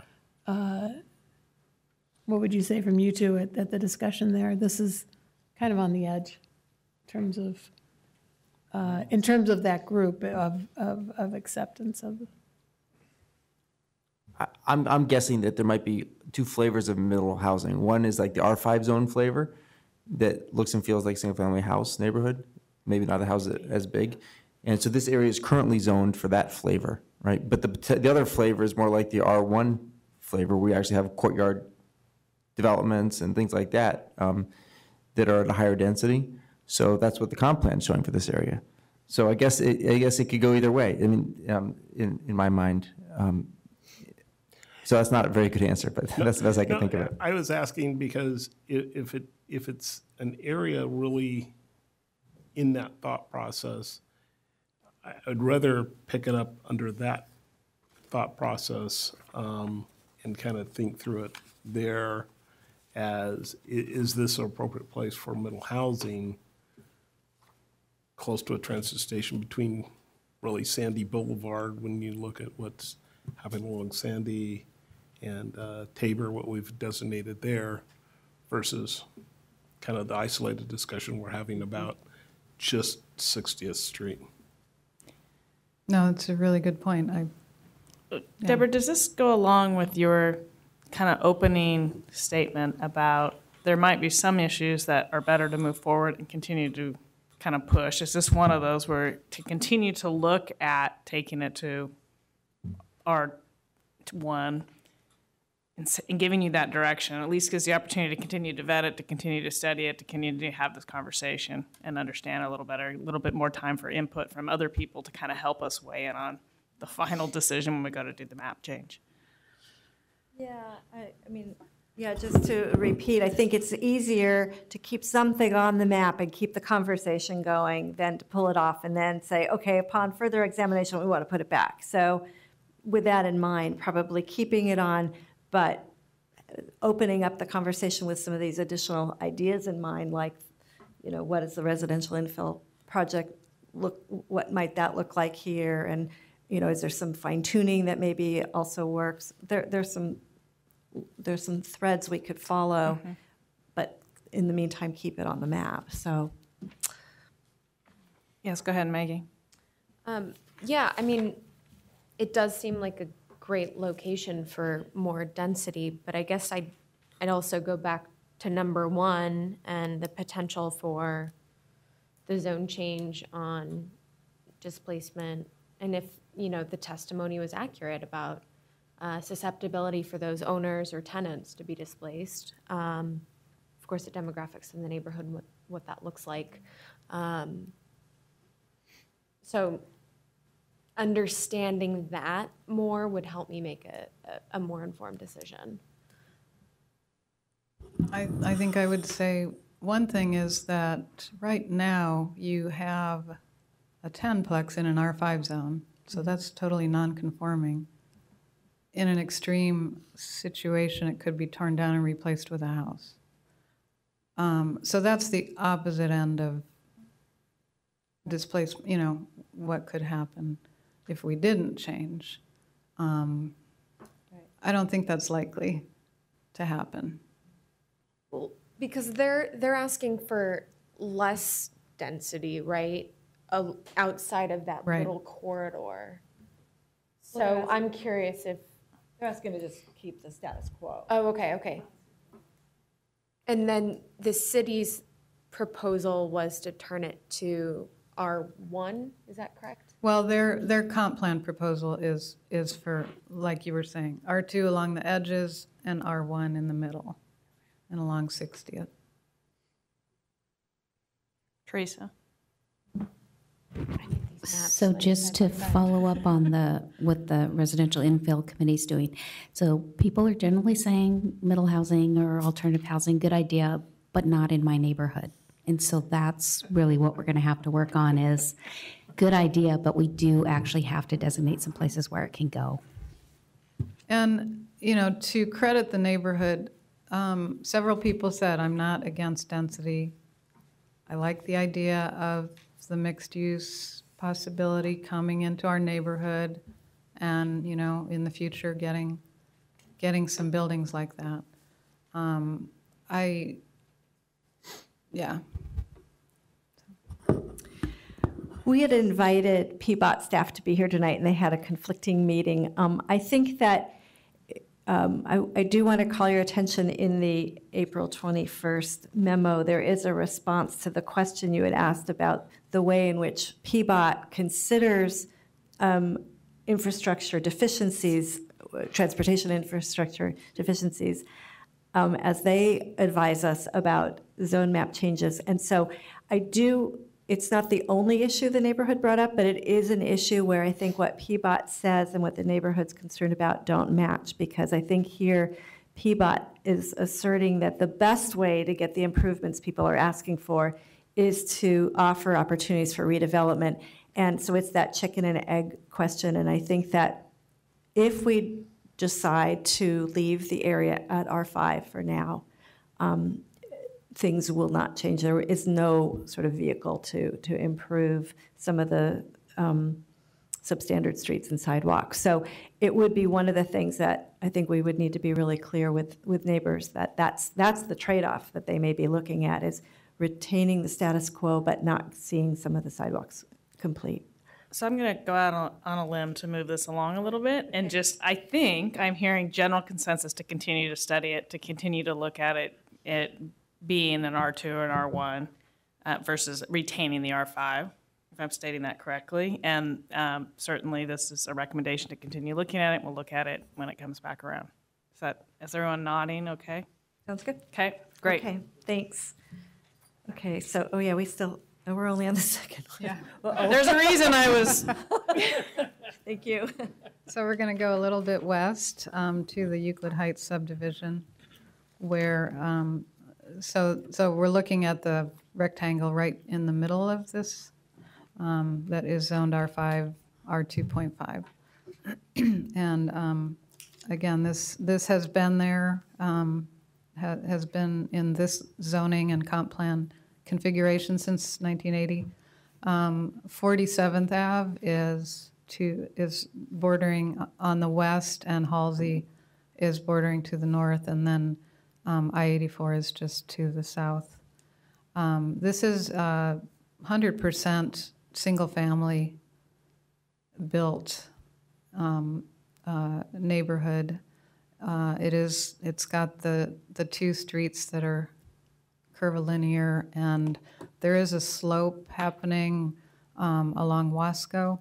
So that is a bit of a constraint that we did take into consideration.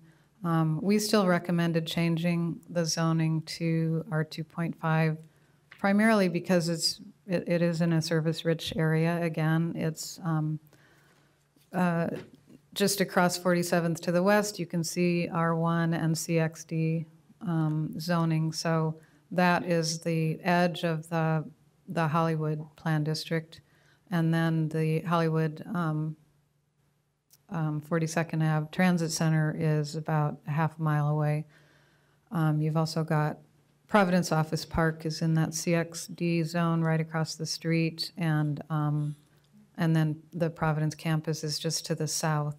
So you've got uh, big employment uh, really close by.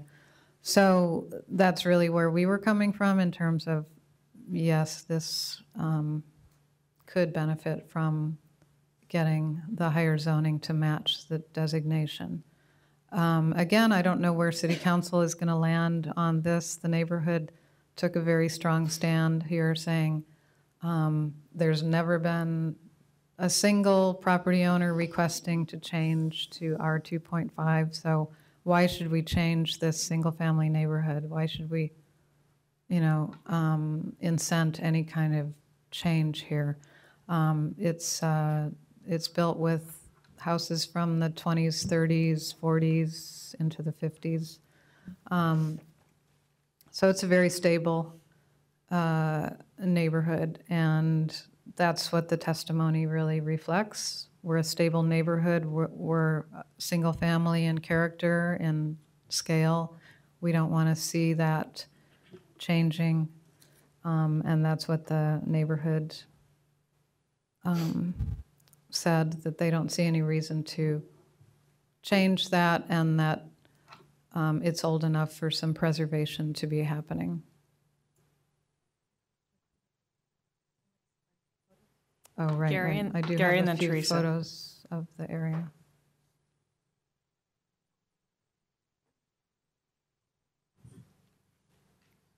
Question.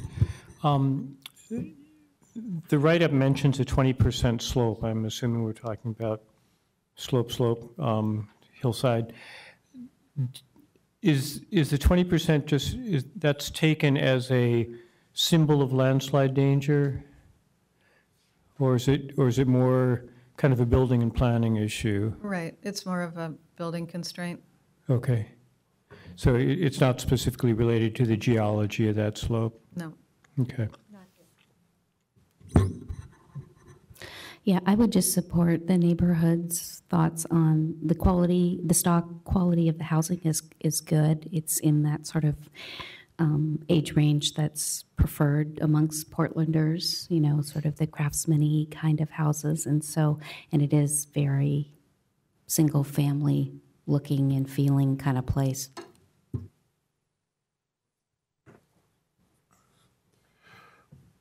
So I guess my reaction looking at it is that this is maybe a more suitable middle housing candidate than Rose City Park.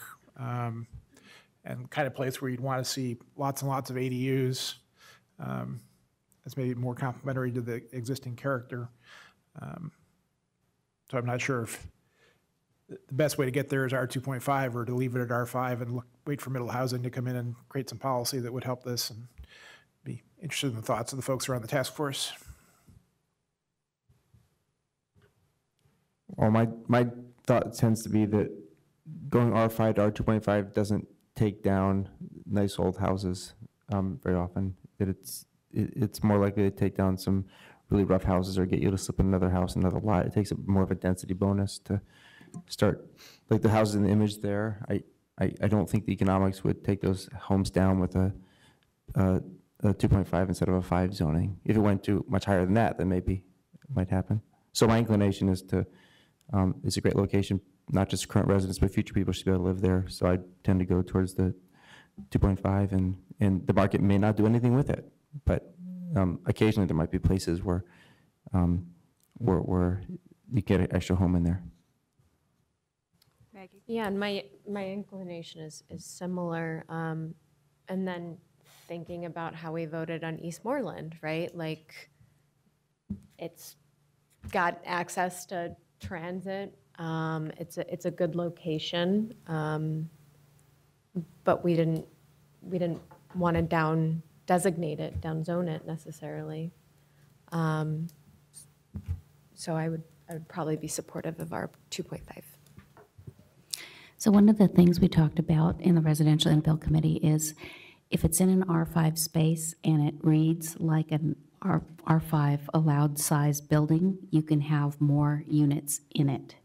So this would be a great place for that kind of thing with the big older houses and that sort of character. But we actually aren't there yet, and I don't know if we will get to that spot, so. Anything else? And again, right now, it's in city council's hands, and, and so they're actually looking at, well, are we going to keep the R 2.5 designation, or are we going to down designate, which would be the neighborhood's preference? Is there an amendment active on that? Mhm. Oh, okay. Yeah. So I guess I would probably this- oppose that amendment. Well, just, just to, to maybe add to the nods, because I think, it- I think we're almost tipping the scales there, is I, I would ag- also agree to kind of continue to look at, at 2.5. Um, And again, it's, I think it's back to what Teresa's saying. I don't think 2.5 means that a house has to come down, but um, we can be creative about how to maybe divide houses up like we used to be creative about it, so. Thank you. So we're going to move on to uh, Southeast Henry Street in Southeast Portland. Marty will take this. So good evening. Uh, Again, I'm Marty Stockton. I'm the Southeast District Liaison. So I wanted to talk about um, an area-specific, um, you know, a portion within kind of the the zoning review area around the Woodstock Neighborhood Center. Um, Within Woodstock, we received about um, 15 to 16 items of testimony, and about 12 of them were specifically focused on Southeast Henry. So I just wanted to talk about that testimony and then also talk about some of the existing conditions as well as conversations and coordinations with the Portland Fire and Rescue Bureau.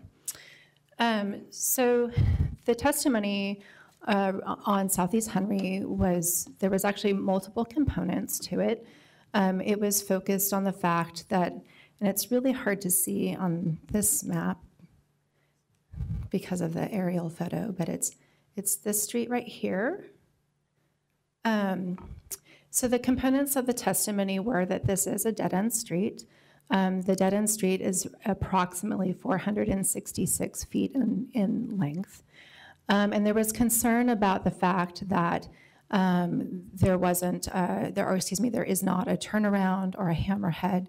There was uh, one community member that did a really good job in her due diligence, and so she did go and talk to um, uh, Fire Bureau staff down in the Development Services Center as well as other staff.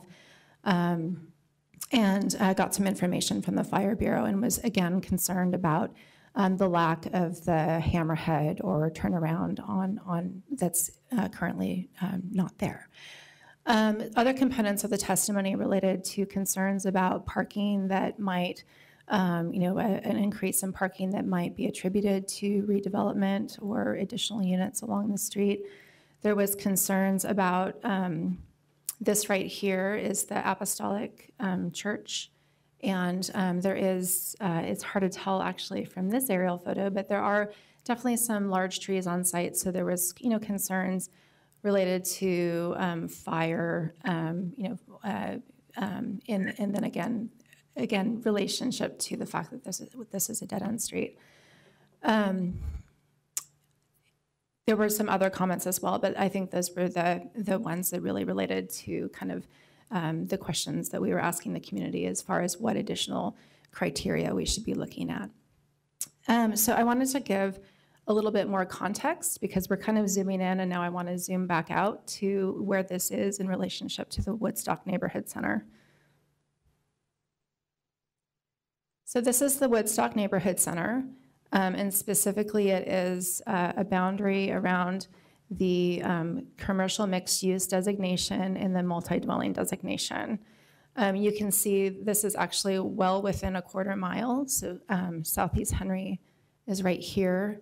It is um, down, if this is actually 52nd, so you go down 52nd, and the Goodwill facility is, you can't really see it, but it's right there. So it's essentially two blocks to the north of Southeast Henry, and then Woodstock Boulevard itself is about four blocks um, north of Southeast Henry.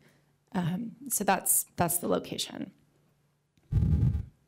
And this area, again, is, is all within kind of the R2.5 um, comp plan that surrounds the, the Woodstock Neighborhood Center.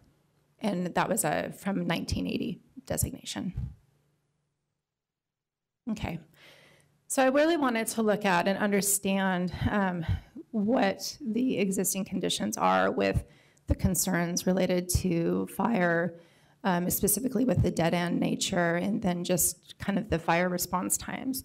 And so this is a map um, of the fire response times, and you can again see. Actually, would you mind? I always get my hand gets shaky when I'm up here. So Southeast Henry is just north of Southeast Duke, and you can see that that area is a light green color. So when you look down below, you can see that it's not the fastest response time, which is uh, five minutes and 20 seconds or shorter, but it's the sac- second best fast time, which is between five minutes and 21 seconds to six minutes. So that is how quickly um, fire response can get to this particular area within Woodstock. Um, additionally, I have a layer on this map. Do it the old-fashioned way. Thank you. Oh, no, no. So, so the, the actual dead end um, street that I'm referring to is actually, it's there, yes. So you can see the big property there. That's the Apostolic Church, yeah. Thank you. Much appreciated.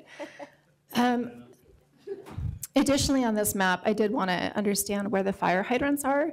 And so the red dots are where all the fire hydrants are located. And you can see that there is a fire hydrant right at Southeast Henry in um, 52nd. So again, I'm just providing some um, existing conditions because I want to understand kind of what the situation is. So specifically in relates uh, in regards to Southeast Henry, um, it is a 55-foot uh, right-of-way. Um, and again, the, the um, east to west is about approximately 466 feet east, east to west.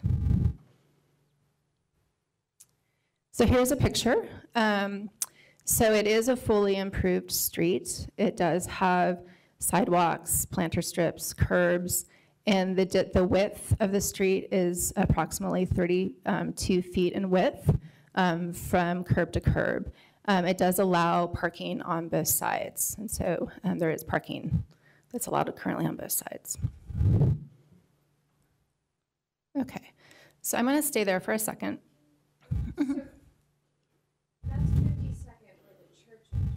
So 52nd, it would actually be behind us.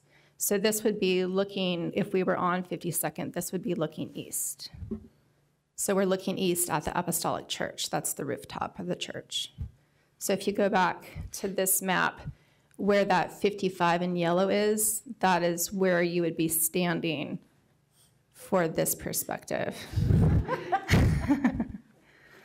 um, oh, uh, another point I should say is on the north side, um, you see the the building um, just to the north, that is um, apartment building, um, and that is zoned R2. So that's um, just something to be aware of. I, I don't know if we have a, a zoning map No, we don't. What's that? Okay, yeah, we'll just leave that alone. Um, so when we get a lot of testimony, um, part of it is not wanting to have an immediate response or immediate reaction. It's it's really wanting to do our due diligence in in you know number one, just really listening and absorbing to the feedback, but also doing our own kind of due diligence as well. Um, so the conversations, and just back a bit, I would just say that the Portland Fire and Rescue um, Bureau has been phenomenal. They've been incredibly responsive. Um, when I was working with the fire marshal on this particular um, question, um, he went out and did a site visit. He measured the right of way, um, got back to me. We um, exchanged some emails back and forth as far as um, you know, I'm trying to understand your fire code, and I, you know, and so just again, he, he was incredibly helpful. So I just want to state that for the record. Um, so one thing I think that is um, just a point of clarification is that we have public streets all over the city that don't necessarily meet the ideal. And the ideal is a through street where you can drive around the corner. Um, the reasons for the streets that don't necessarily meet the ideal is that we have topography, we have existing development, we have a way that development occurs where um, different lots redevelop at different times, and um, you know there isn't necessarily the opportunity to have a connection um, all the way through. With that said, um, the, there are multiple ways to address um, fire standards. And so in this situation, the hammerhead and the turnaround is one of a menu of options that are acceptable to the Fire Bureau. So in addition to the hammerhead and the turnaround, alternatives could be having properties sprinklered. So for example, on this map, you can see that there was a land division in 2004. You can see that, you know, the 2004 on the plat. And stepping back a bit, the fire code treats one unit and two units exactly the same. So if it is a single family house, whether it's a duplex, whether it's attached house, it's treated under the same section of the fire code. So in the situation of the 2004 um, land division, that house, the new house, was required to be sprinklered. And so if that house had been a duplex, it would have been required to be sprinklered. So it would have been the same situation. In this situation, um, there's actually a lot of flexibility because Henry has um, quite a bit of width that wouldn't normally be I mean, that's, they're fortunate in that way, in that here we have um, the paved width of 32 feet from curb to curb. The minimum requirement in the, in the fire code is actually 28 feet. So 28 feet still would allow you to have parking on either side and would allow a fire truck to go down and they could still go down and not hit, hit anyone's side mirrors. So that, again, 28 feet is the minimum we have 32 feet here. Um, some other things that the Fire Bureau would consider, assuming there's a flat grade, which this is, is that they could consider to um, remove parking on one or both sides if they felt that was a concern. Um, again, there's also the sprinklering option. So there's some flexibility. There's also the ability to do more than one if there was a concern. With that said, the Fire Bureau's standard is that um, they uh, have no problem with a dead end that is 300 linear feet. So in this situation, um, essentially it is the first flag lot would be the where the 300 feet is. So you would have um, six properties that are well within the 300 feet. Um, so from a Fire Bureau perspective, um, again, they treat single family and two units the same way. And um, again, there's a lot of flexibility with how they could address this, um, either on a site-by-site or for the full street. Um, Stepping back a bit, whenever we have questions that come up that are so targeted, as planners, we have to step back a bit and ask ourselves, where would there be other applicable areas that we would need to consider if we are going to get direction that this is a criterion that we should pause on? Um, so again, the staff recommendation around Woodstock is that we are recommending a, a zone change from R5 to R2.5 to support the neighborhood center. Um, you know, the, the initial proposal for Southeast Henry um, did not factor in the, um, th- you know, the, the feedback because that was brought to our attention in the testimony. So, um, you know, one way, you know, there's, there's kind of three choices that we have. We can have to, you know, go forward with the, the zone change to R2.5 for the full area. We have a more kind of modest compromise, um, which is supported by the Fire Bureau, which would be to um, change just the area that is within the 300 linear feet and hold off on the properties that are beyond that, um, just because there may be one or multiple of the menu items that they would need to choose from at that point. And again, um, that would that, that, that would need to occur through either a building permit, um, a land division, or a zone change. So there's multiple ways that the the fire bureau can address fire code. Um, and then additionally, we could um, you know, just honor the testimony of the community members along Southeast Henry. And again, I think every single property owner on Southeast Henry that is with, that received notice did testify. Um, And then, and, and propose to keep the status quo. So those are kind of the options before us. With that said, I do feel that we can't treat Southeast Henry in isolation. So I do think that if you are giving us direction on this, that that direction should be um, applied to other areas with similar characteristics in zoning review areas. Um, I have put in a GIS request last week to identify where there are rights of way that dead end that are 300 linear feet or 0 to 300 in 301 in greater. So it's something that we are doing some some more analysis on for just the zoning review areas. So That was very thorough, thank you, Mark.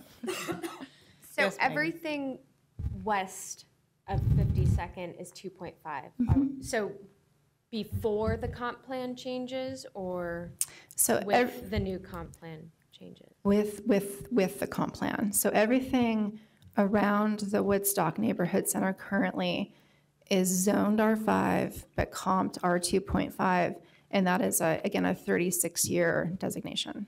So that street's super nice because I'm over there all the time. Those roads anywhere west of 52nd, between like, so yeah, so this way are awful. I would be more concerned about a fire truck being able to get over potholes the size of swimming pools than get through there. So I just, I think that's a really accessible street compared to every hmm. other street in that area narrow, no sidewalks, pothole, huge potholes. So it's, it's just a very accessible street comparatively. So does that mean you're in favor of? Yes. Okay. 2.5. Perfect. Eli? I guess I, I thought that was really compelling public testimony on this one, um, compared to some others I've ever heard. But I think it's good to get your perspective too, because, I mean, the trees, the trees are far away from up- uh, that church site. It's not right there. Fire Bureau, it makes sense. I mean, Fire Bureau, they just care about backing up after they put the fire out. Um, And it was well, well within 600 feet of the line requirement. And as you say, they have triggers. They can require sprinkling if they want, you know? Um, So I'm, and it's an improved street. Um, So I'm kind of, I'm agreeing with Maggie to, to keep going at 2.5. Gary? I'm sorry, Marty, I'm confused. Um, The, is the Bureau saying that in order to switch to 2.5, there would need to be sprinklers? No, so. What's that? Oh, I, I do, I deal with the fire department a lot on this stuff. It- it- that if you want to get a building permit and you're too far away from a hydrant, or too far away that the vehicle can get to, then they can make a condition on your building permit to do certain upgrades, like install a new hydrant or sprinkle your building. So in order to, say this were zoned R1 or something, you know, the- something much higher density, then the fire department, um, recognizing that their access is not as good as it is in some areas, can require additional things of the builder to supplement the fire suppression options for the site, um, independent of zoning. So just if you want to build anything there. So there's a choice of, of installing a hydrant or a sprinkler, a hydrant on the block or sprinklers within the, within the property? Yeah, usually the developer has to cover that cost. The developer always has to cover the cost, as far as I know. Um, And the developer has to provide something above and beyond what base code is in order to accommodate a situation where it may be hard to get a fire vehicle there. But it's pretty common, if you have a deep lot, a lot of times the, the the houses in the back of the lot have to be sprinkled for exactly the same reason that we're talking about here. So is the issue here absence of a hydrant? So again, there is a hydrant right on 52nd and Henry. I'm, I'm sorry. There's a hydrant currently on 52nd and Henry. It's, the issue is the length of the street is long, is, creates some lots that are further away from the hydrant than the fire department would like to see them. Mm-hmm. Okay. And then the other thing I'd like to point out is that when you showed the response time map, that's actually really good performance in response time when you look at it citywide. There are areas, particularly in the southwest hills, that have way worse response time than this neighborhood does. And the citywide response time map is at the bottom. Yeah. Yeah. Chris? Well, this is a little bit tangential, but uh, at some point, we're going to think about sprinkling all single-family to help reduce our fire suppression costs long, long-term. So um, I I don't see any reason not to keep looking at this. I would agree, so I think that's kind of a majority of nods. Um, Do you have just something kind of to? Yeah, just the question I had was, I understand the new developer is going to sprinkle that house, but you have other houses that are existing that aren't sprinkled that are at that area, and you're potentially increasing the parking and the density, the congestion on that Mhm. street. So that- that's my concern. I just wonder, is there a way to, you know, push for the option of a closer hydrant or something that would benefit the whole area as opposed to just sprinkling that development? So the issue again is not the location of the hydrant. The location of the hydrant is actually very good. The issue is that um, the dead end street exceeds the um, 300 linear feet, and so you have 166 feet approximately that go beyond. And for them, um, you know, ideally, they, uh, you know, it's, there's no problem getting to a fire and being able to address the fire. It's, um, you know, that, uh, you know, they would have to back out a truck. And, um, you know, I, I would say that, uh, you know, I, I've seen some very skilled drivers in the fire bureau. Um, but that, that is, uh, you know, a, a, you know, the, the issue with, with, uh, again, the, the situation on Henry and the fire code standards. I would just say, uh, having built streets and dealt with the fire department, it is about equipment size, really. Um, The fire department wants to be able to bring their largest piece of equipment down to a fire, even though this is a single family. And you need 28 feet, well, you could get smaller, but you need 20 feet of space to be able to put all the outriggers out and deploy all their equipment. The other issue is just without a hammerhead, they've got to back that out.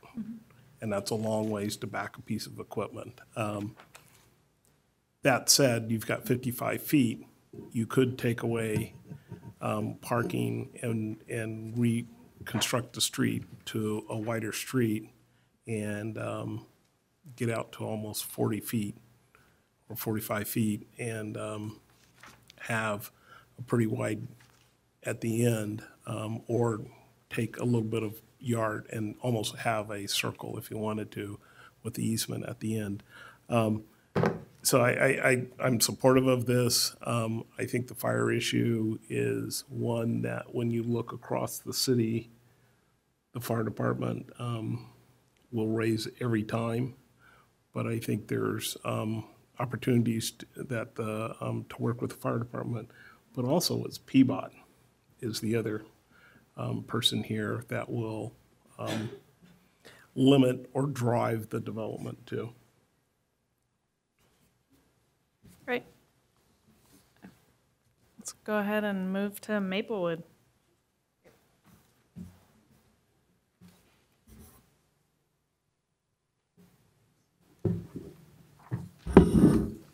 Good evening, Commissioners. I'm Joan Frederiksen. I'm the West District Liaison. You've, you've met us practically all. Um, So now we're going to be talking about a um, area-specific discussion topic on the west side of town. Um, The question before you on this one is, uh, we have um, R1 comprehensive plan designation recommended for this area, and the question, it- we're getting some testimony um, asking for the R7 zoning to be retained, and the question before you is, does the PSC support retaining the zoning here, the R7 zoning, uh, in response to testimony, or supporting uh, the current zoning proposal of R1? uh, retaining the R7 zoning here with the comprehensive plan at R1 would require the property owner in the future to apply for a quasi-judicial review uh, map amendment and um, would require additional public process at that time. So here we have the map, um, and hopefully, okay, something that works, yay. Um, So this shows the recommended plan, comprehensive plan map, including the amendments. The site that we'll be talking about is this one here on the west.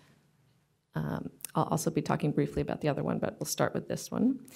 Um, The text indicates the existing zoning, and the colors show the proposed uh, or the recommended comprehensive plan, as well as the. Yes. So you know, perfect. Very good. This was a test. Okay, I'm done. No, I'm just Do kidding. you like have to come back to this neighborhood every six weeks? Is that what a rule somewhere? So the street vacation that you talked about a couple of weeks ago is right here. It's Southwest Florida, for context. So um, the R1 comp plan designation, just to recap, was recommended here. Uh, It was a property owner request, and staff considered it, and the PSC supported it.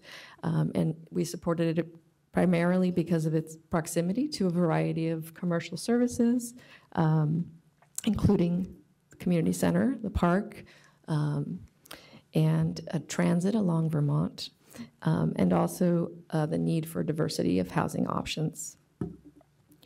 So just a little more context, um, the area under discussion is on Southwest 45th Avenue, running north-south, just south of Southwest Vermont as well. Um, It's about half a block from this active, small but active commercial um, complex. And as I mentioned before, it's across from the community center and Gabriel Park. Uh, To the west, for further context, there are a couple of large uh, properties that are uh, churches, St. Luke's directly west and St. John Fisher to the south.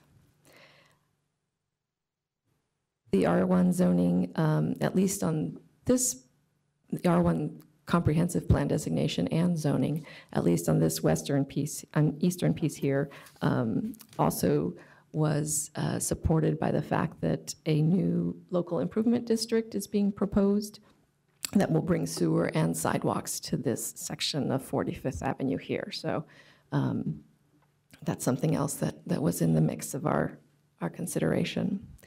Testimony that we've been hearing, we've gotten about a half dozen pieces of testimony uh, so far, are raising concerns about um, existing congestion, traffic congestions, and uh, scarcity of parking in the vicinity, primarily with people accessing the community center um, and the park. Um, They're also raising concerns about the potential scale of the future development. This is currently R7, and the area is fairly um, low-rise with the exception of some uh, development on Vermont. Um, And so they're, they're raising those concerns. Also, the testimony is primarily referring to this site here along 45th, but um, I want to note that council is currently considering an amendment to this western side of it here, this St. Luke's uh, Church heard about this R1 comp plan designation and put in a testimony request, and the, and the council picked that up. So there are really, we are specifically mostly talking about the piece that faces 45th, but there are ramifications also for the adjacent piece. Um, Because if council decides to support an R1 comprehensive plan designation for this St. Luke's western piece here, then staff will have to consider what to do with the zoning there as well. So whatever you tell us this evening will help in that deliberation as well.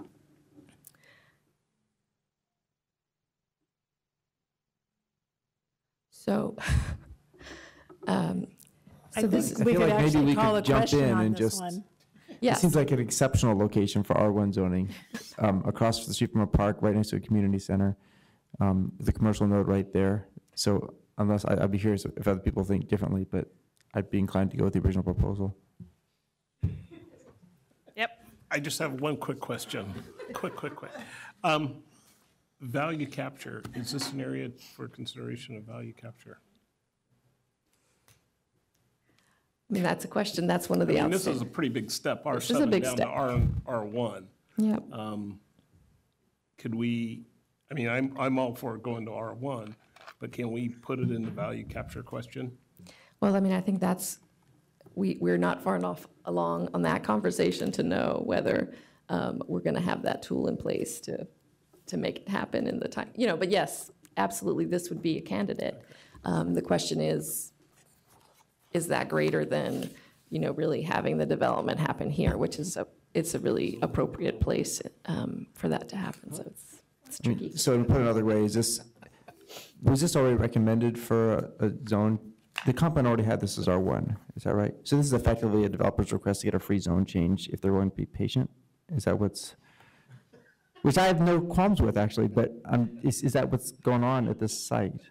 Well, um, for the most part, where we have, where it's appropriate to have, where we've recommended um, comprehensive plan up, upzoning or upgrading, um, we are typically following it with the zoning unless there is something that really stands out as a reason, whether it's displacement or um, some other uh, infrastructure concerns that we have where we would want to keep the separation or the divide. So in this case, we are just following um, the designation that we propose because we think it's an appropriate place for it. I guess I'm still inclined to support and surprised that the developer's being this patient to wait till the comp plan's done to actually, Well, they may not, but they might, they might just go get it some other way. Thanks. They likely will. So in general, um, nods? Yeah? Okay, great, thank you. You're right. Deborah, is there a wrap-up, or are we? I'm, Yeah, I, I had a question about the Eliot Conservation District, which wasn't on the list, but I, um, that- no, we moved the order, so this, oh, the- yeah, I'm sorry. go ahead. You have one more? We do, and so, and I know, this is. Okay, so roll strange. along. Okay, and this question actually has multiple parts, so I'm going to apologize in advance for. Can we summarize? Somehow? Marty, what do you think? Summary? We'll ask more questions if we need it, I promise. I, I'll, I'll try to be brief. Okay. So in doing the residential and open space zoning map, and as well as the mixed-use zones map, there are issues where I am wanting to bring this to your attention, otherwise Barry is going to bring it to your attention when he comes to you in the mixed-use zones project, but I'm going to beat Barry to it. So um, what we're talking about are areas that are currently zoned R5 or R2 that have an exist, or they have a commercial mixed-use comp plan. And this comp plan is either new, so it's something that we have expanded within the 2035 comp plan, or it was applied back in 1980. So what we are wanting some direction from you all is um, what to do about these areas. And again, the choices are to consider rezoning these parcels to mixed use, consider rezoning these areas um, to the higher intensity residential zone. And when you see the map, you'll understand why, or retain the existing zoning. Most of these areas happen to be in my district. So the first is an example, again, of going back to Woodstock. So again, Woodstock Neighborhood Center, this is an area where um, through the Woodstock charrette process and, you know, um, several years of conversations and testimony, um, we agreed to take um, kind of a, a jiggy-jaggy um, zoning pattern to the full block uh, mixed use on uh, from Woodstock to Southeast Knight and then Woodstock to Southeast Martins. What that um, one thing that we um, did to be kind of consistent across the board is that we are not proposing to upzone existing residential land to mixed use unless uh, the three occurred. So whether or not there was a non-conforming commercial structure, and we had those conversations, whether there was a split zone, so meaning that portion of the site was already commercial and a portion of the site was residential, or if there had been a, um, a very formal and vetted public process that um, uh, we were supporting that public process and, um, uh, and are supporting a change from residential to uh, mixed use on the zoning map.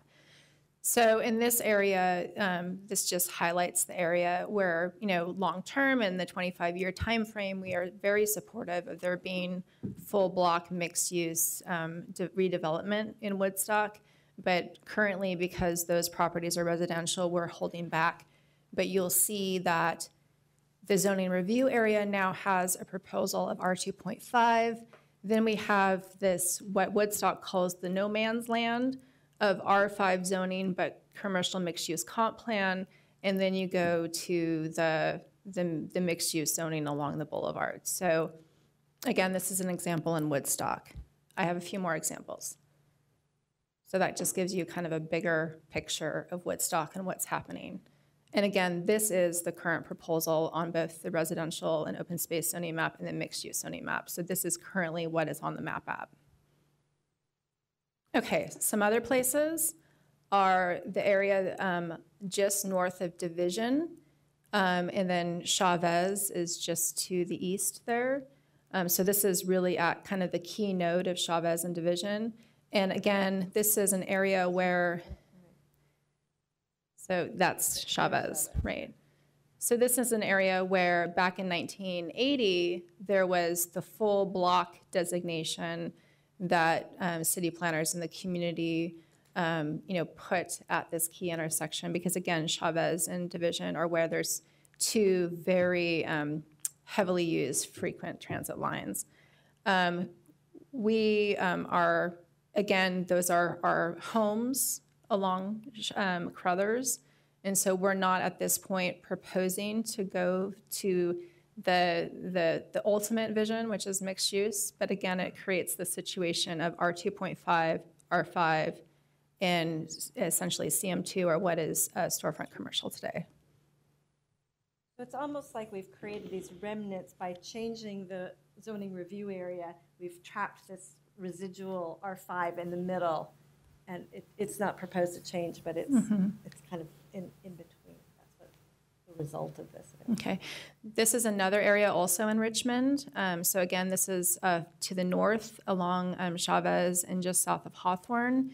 Interestingly enough, in the area that is along Chavez, there's about four or five properties that have non-conforming density. And so those are R5 zoned properties that have duplexes or triplexes. So that's just something to be aware of. Um, so that's the situation here.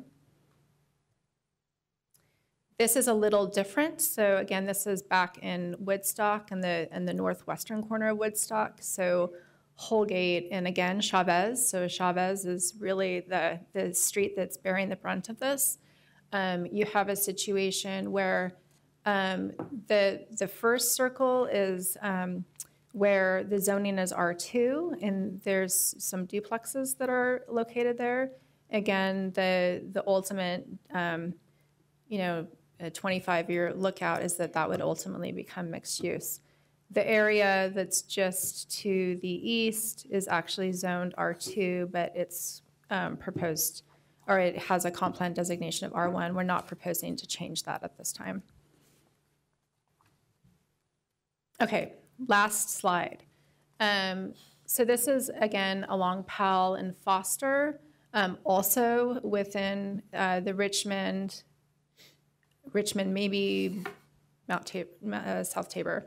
But, um, so the, the first circle actually is um, an errata that I would like to correct. Um, That is a, a U-Haul, um, it's actually a split zone site, so that's something that um, not only is a non-conforming commercial use, but it is a split zone. So that's something that I think that we will probably move forward and add to the mixed-use zones project.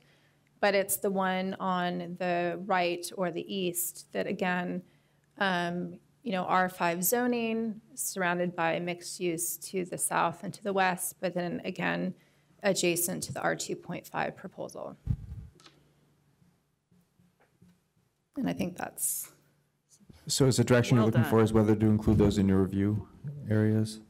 Because that makes sense to me. I mean, it seems like a lot of these property owners might not um, be bothered, but you'd find out pretty soon. And Mhm. some of them would be saying, oh, I assume that you could always build more here anyway. And it, and so I guess it, it's, um, let me think I under, uh, share what I think I'm hearing from you, is to include them in the residential review areas. And so we would match the adjacent residential zoning that we are um, proposing a zone change, in most cases to R two point five. Um, knowing that we, they will retain the mixed-use comprehensive plan map designation, and so they could become mixed use in the future.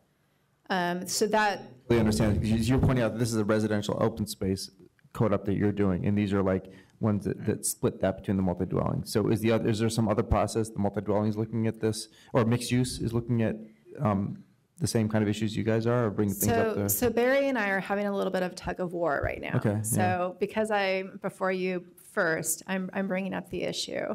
And, Uh-huh. and so, um, and my leaning is that, um, well, I don't, I don't know if I necessarily have a leaning, but if, if it was to fall into my project, then I would either keep the status quo or I would upzone to the adjacent higher residential zone. If it falls into Barry's project, then we would be going from a residential zone to a mixed-use zone. Oh, So one approach might be to give Barry dib- dibs, if he thinks that they should go to multi, to a mixed use, then he could say these should go to mixed use. And if they don't go in that way, then you could say, well, but you know, they should at least be 2.5. Is that one strategy? Well, I think what we're, um, you know, just stepping back a bit, our criteria for changing residential um, properties to mixed use, we had a pretty narrow parameter. And it was, again, if they were non-conforming commercial, if they had a split zone, or if they had gone through a um, planning process where there was a, a lot of public vetting. Um, Otherwise, we were pretty conservative and we left the status quo. Um, and part of that is that um, we're not wanting to turn up the dial on speculation. So I guess the, the way I think about this is, in which context can I think about this more clearly, right? And since a lot of these seem to be adjacent to mixed use, it would seem like I could more clearly think about this in the context of Barry's project. Um, So I'd be, in you know, I think what Eli kind of said is, you know, let Barry propose it for mixed use if he thinks it makes sense, and then fall back to your thought process if they don't. That makes sense to me. Um, But, yeah, I'd give precedence to Barry's analysis process, I think. Go ahead. So to be clear, status quo is keeping the designation. The zoning. Sorry, keeping the zoning residential, the designation mixed use. Okay, And we're not proposing to change the desig, the, the comprehensive plan designation at this point. Um, all these areas that are pretty, at pretty key intersections and opportunity-rich areas. The question is, what do we want to do in the near term? And whether or not the city should initiate it. That's the question. The, the, um, the question of speculation, if we keep the current, you, we kind of propose speculation to get to a commercial zone. And if we do R two, we kind of lead, we, we, they're still getting the upzone, but not to commercial. If I'm understanding. that. Mm-hmm. It's a little bit of a s- stepping stone. Stepping up. stone up. R5 is, you know, no speculation. You go up to the next adjacent residential, it might be a little speculation, probably a little bit more so if you went to mixed use. Mixed use, yeah. And the concern I have that is primarily an, an, an inner Portland concern and an inner Pattern area concern is that um, I am having demolitions in replacement of one-for-one housing.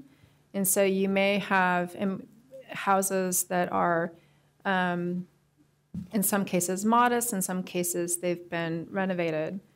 But if there's a demolition with the R5 zone, they're going to be replaced with a very, very expensive house.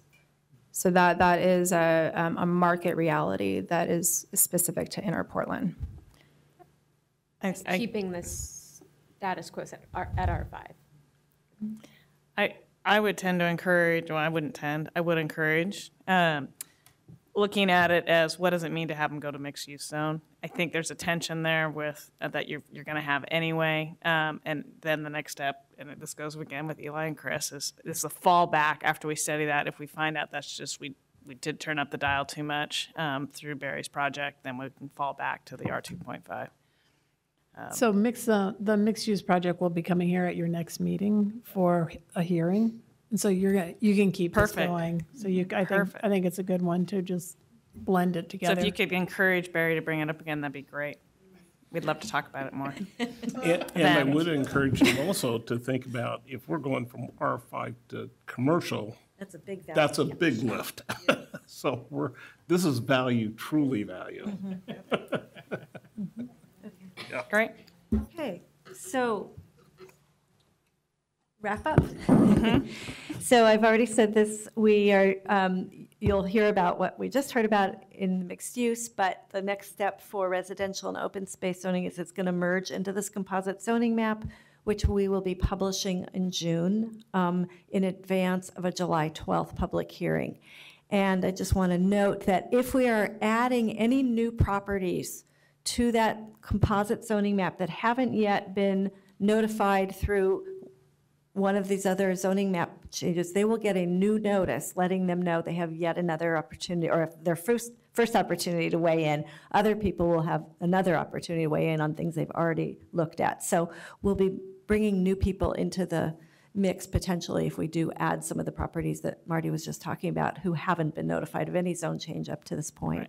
So we will be back with a composite zoning map in July. It's going to bring it all together. All-day work session on that? It's, yeah, it's, um, it's part of why we wanted to sort of vet some of these things with you today, because you don't want to look at everything um, that's going to be that composite zoning map, because that's going to be quite a bit. So hopefully it'll be organized. Perhaps. that's Yes, it for today. Teresa? I just want to compliment your staff. That's amazing work, and it's just an incredible amount of detail, and just thank you for doing such a good job. Yep, thank you. And thanks for uh, patiently waiting till 9 o'clock to go through such heady stuff. This is hard to do in the evening, so thank you. Yep, thank you. Okay. And With that, we're adjourned.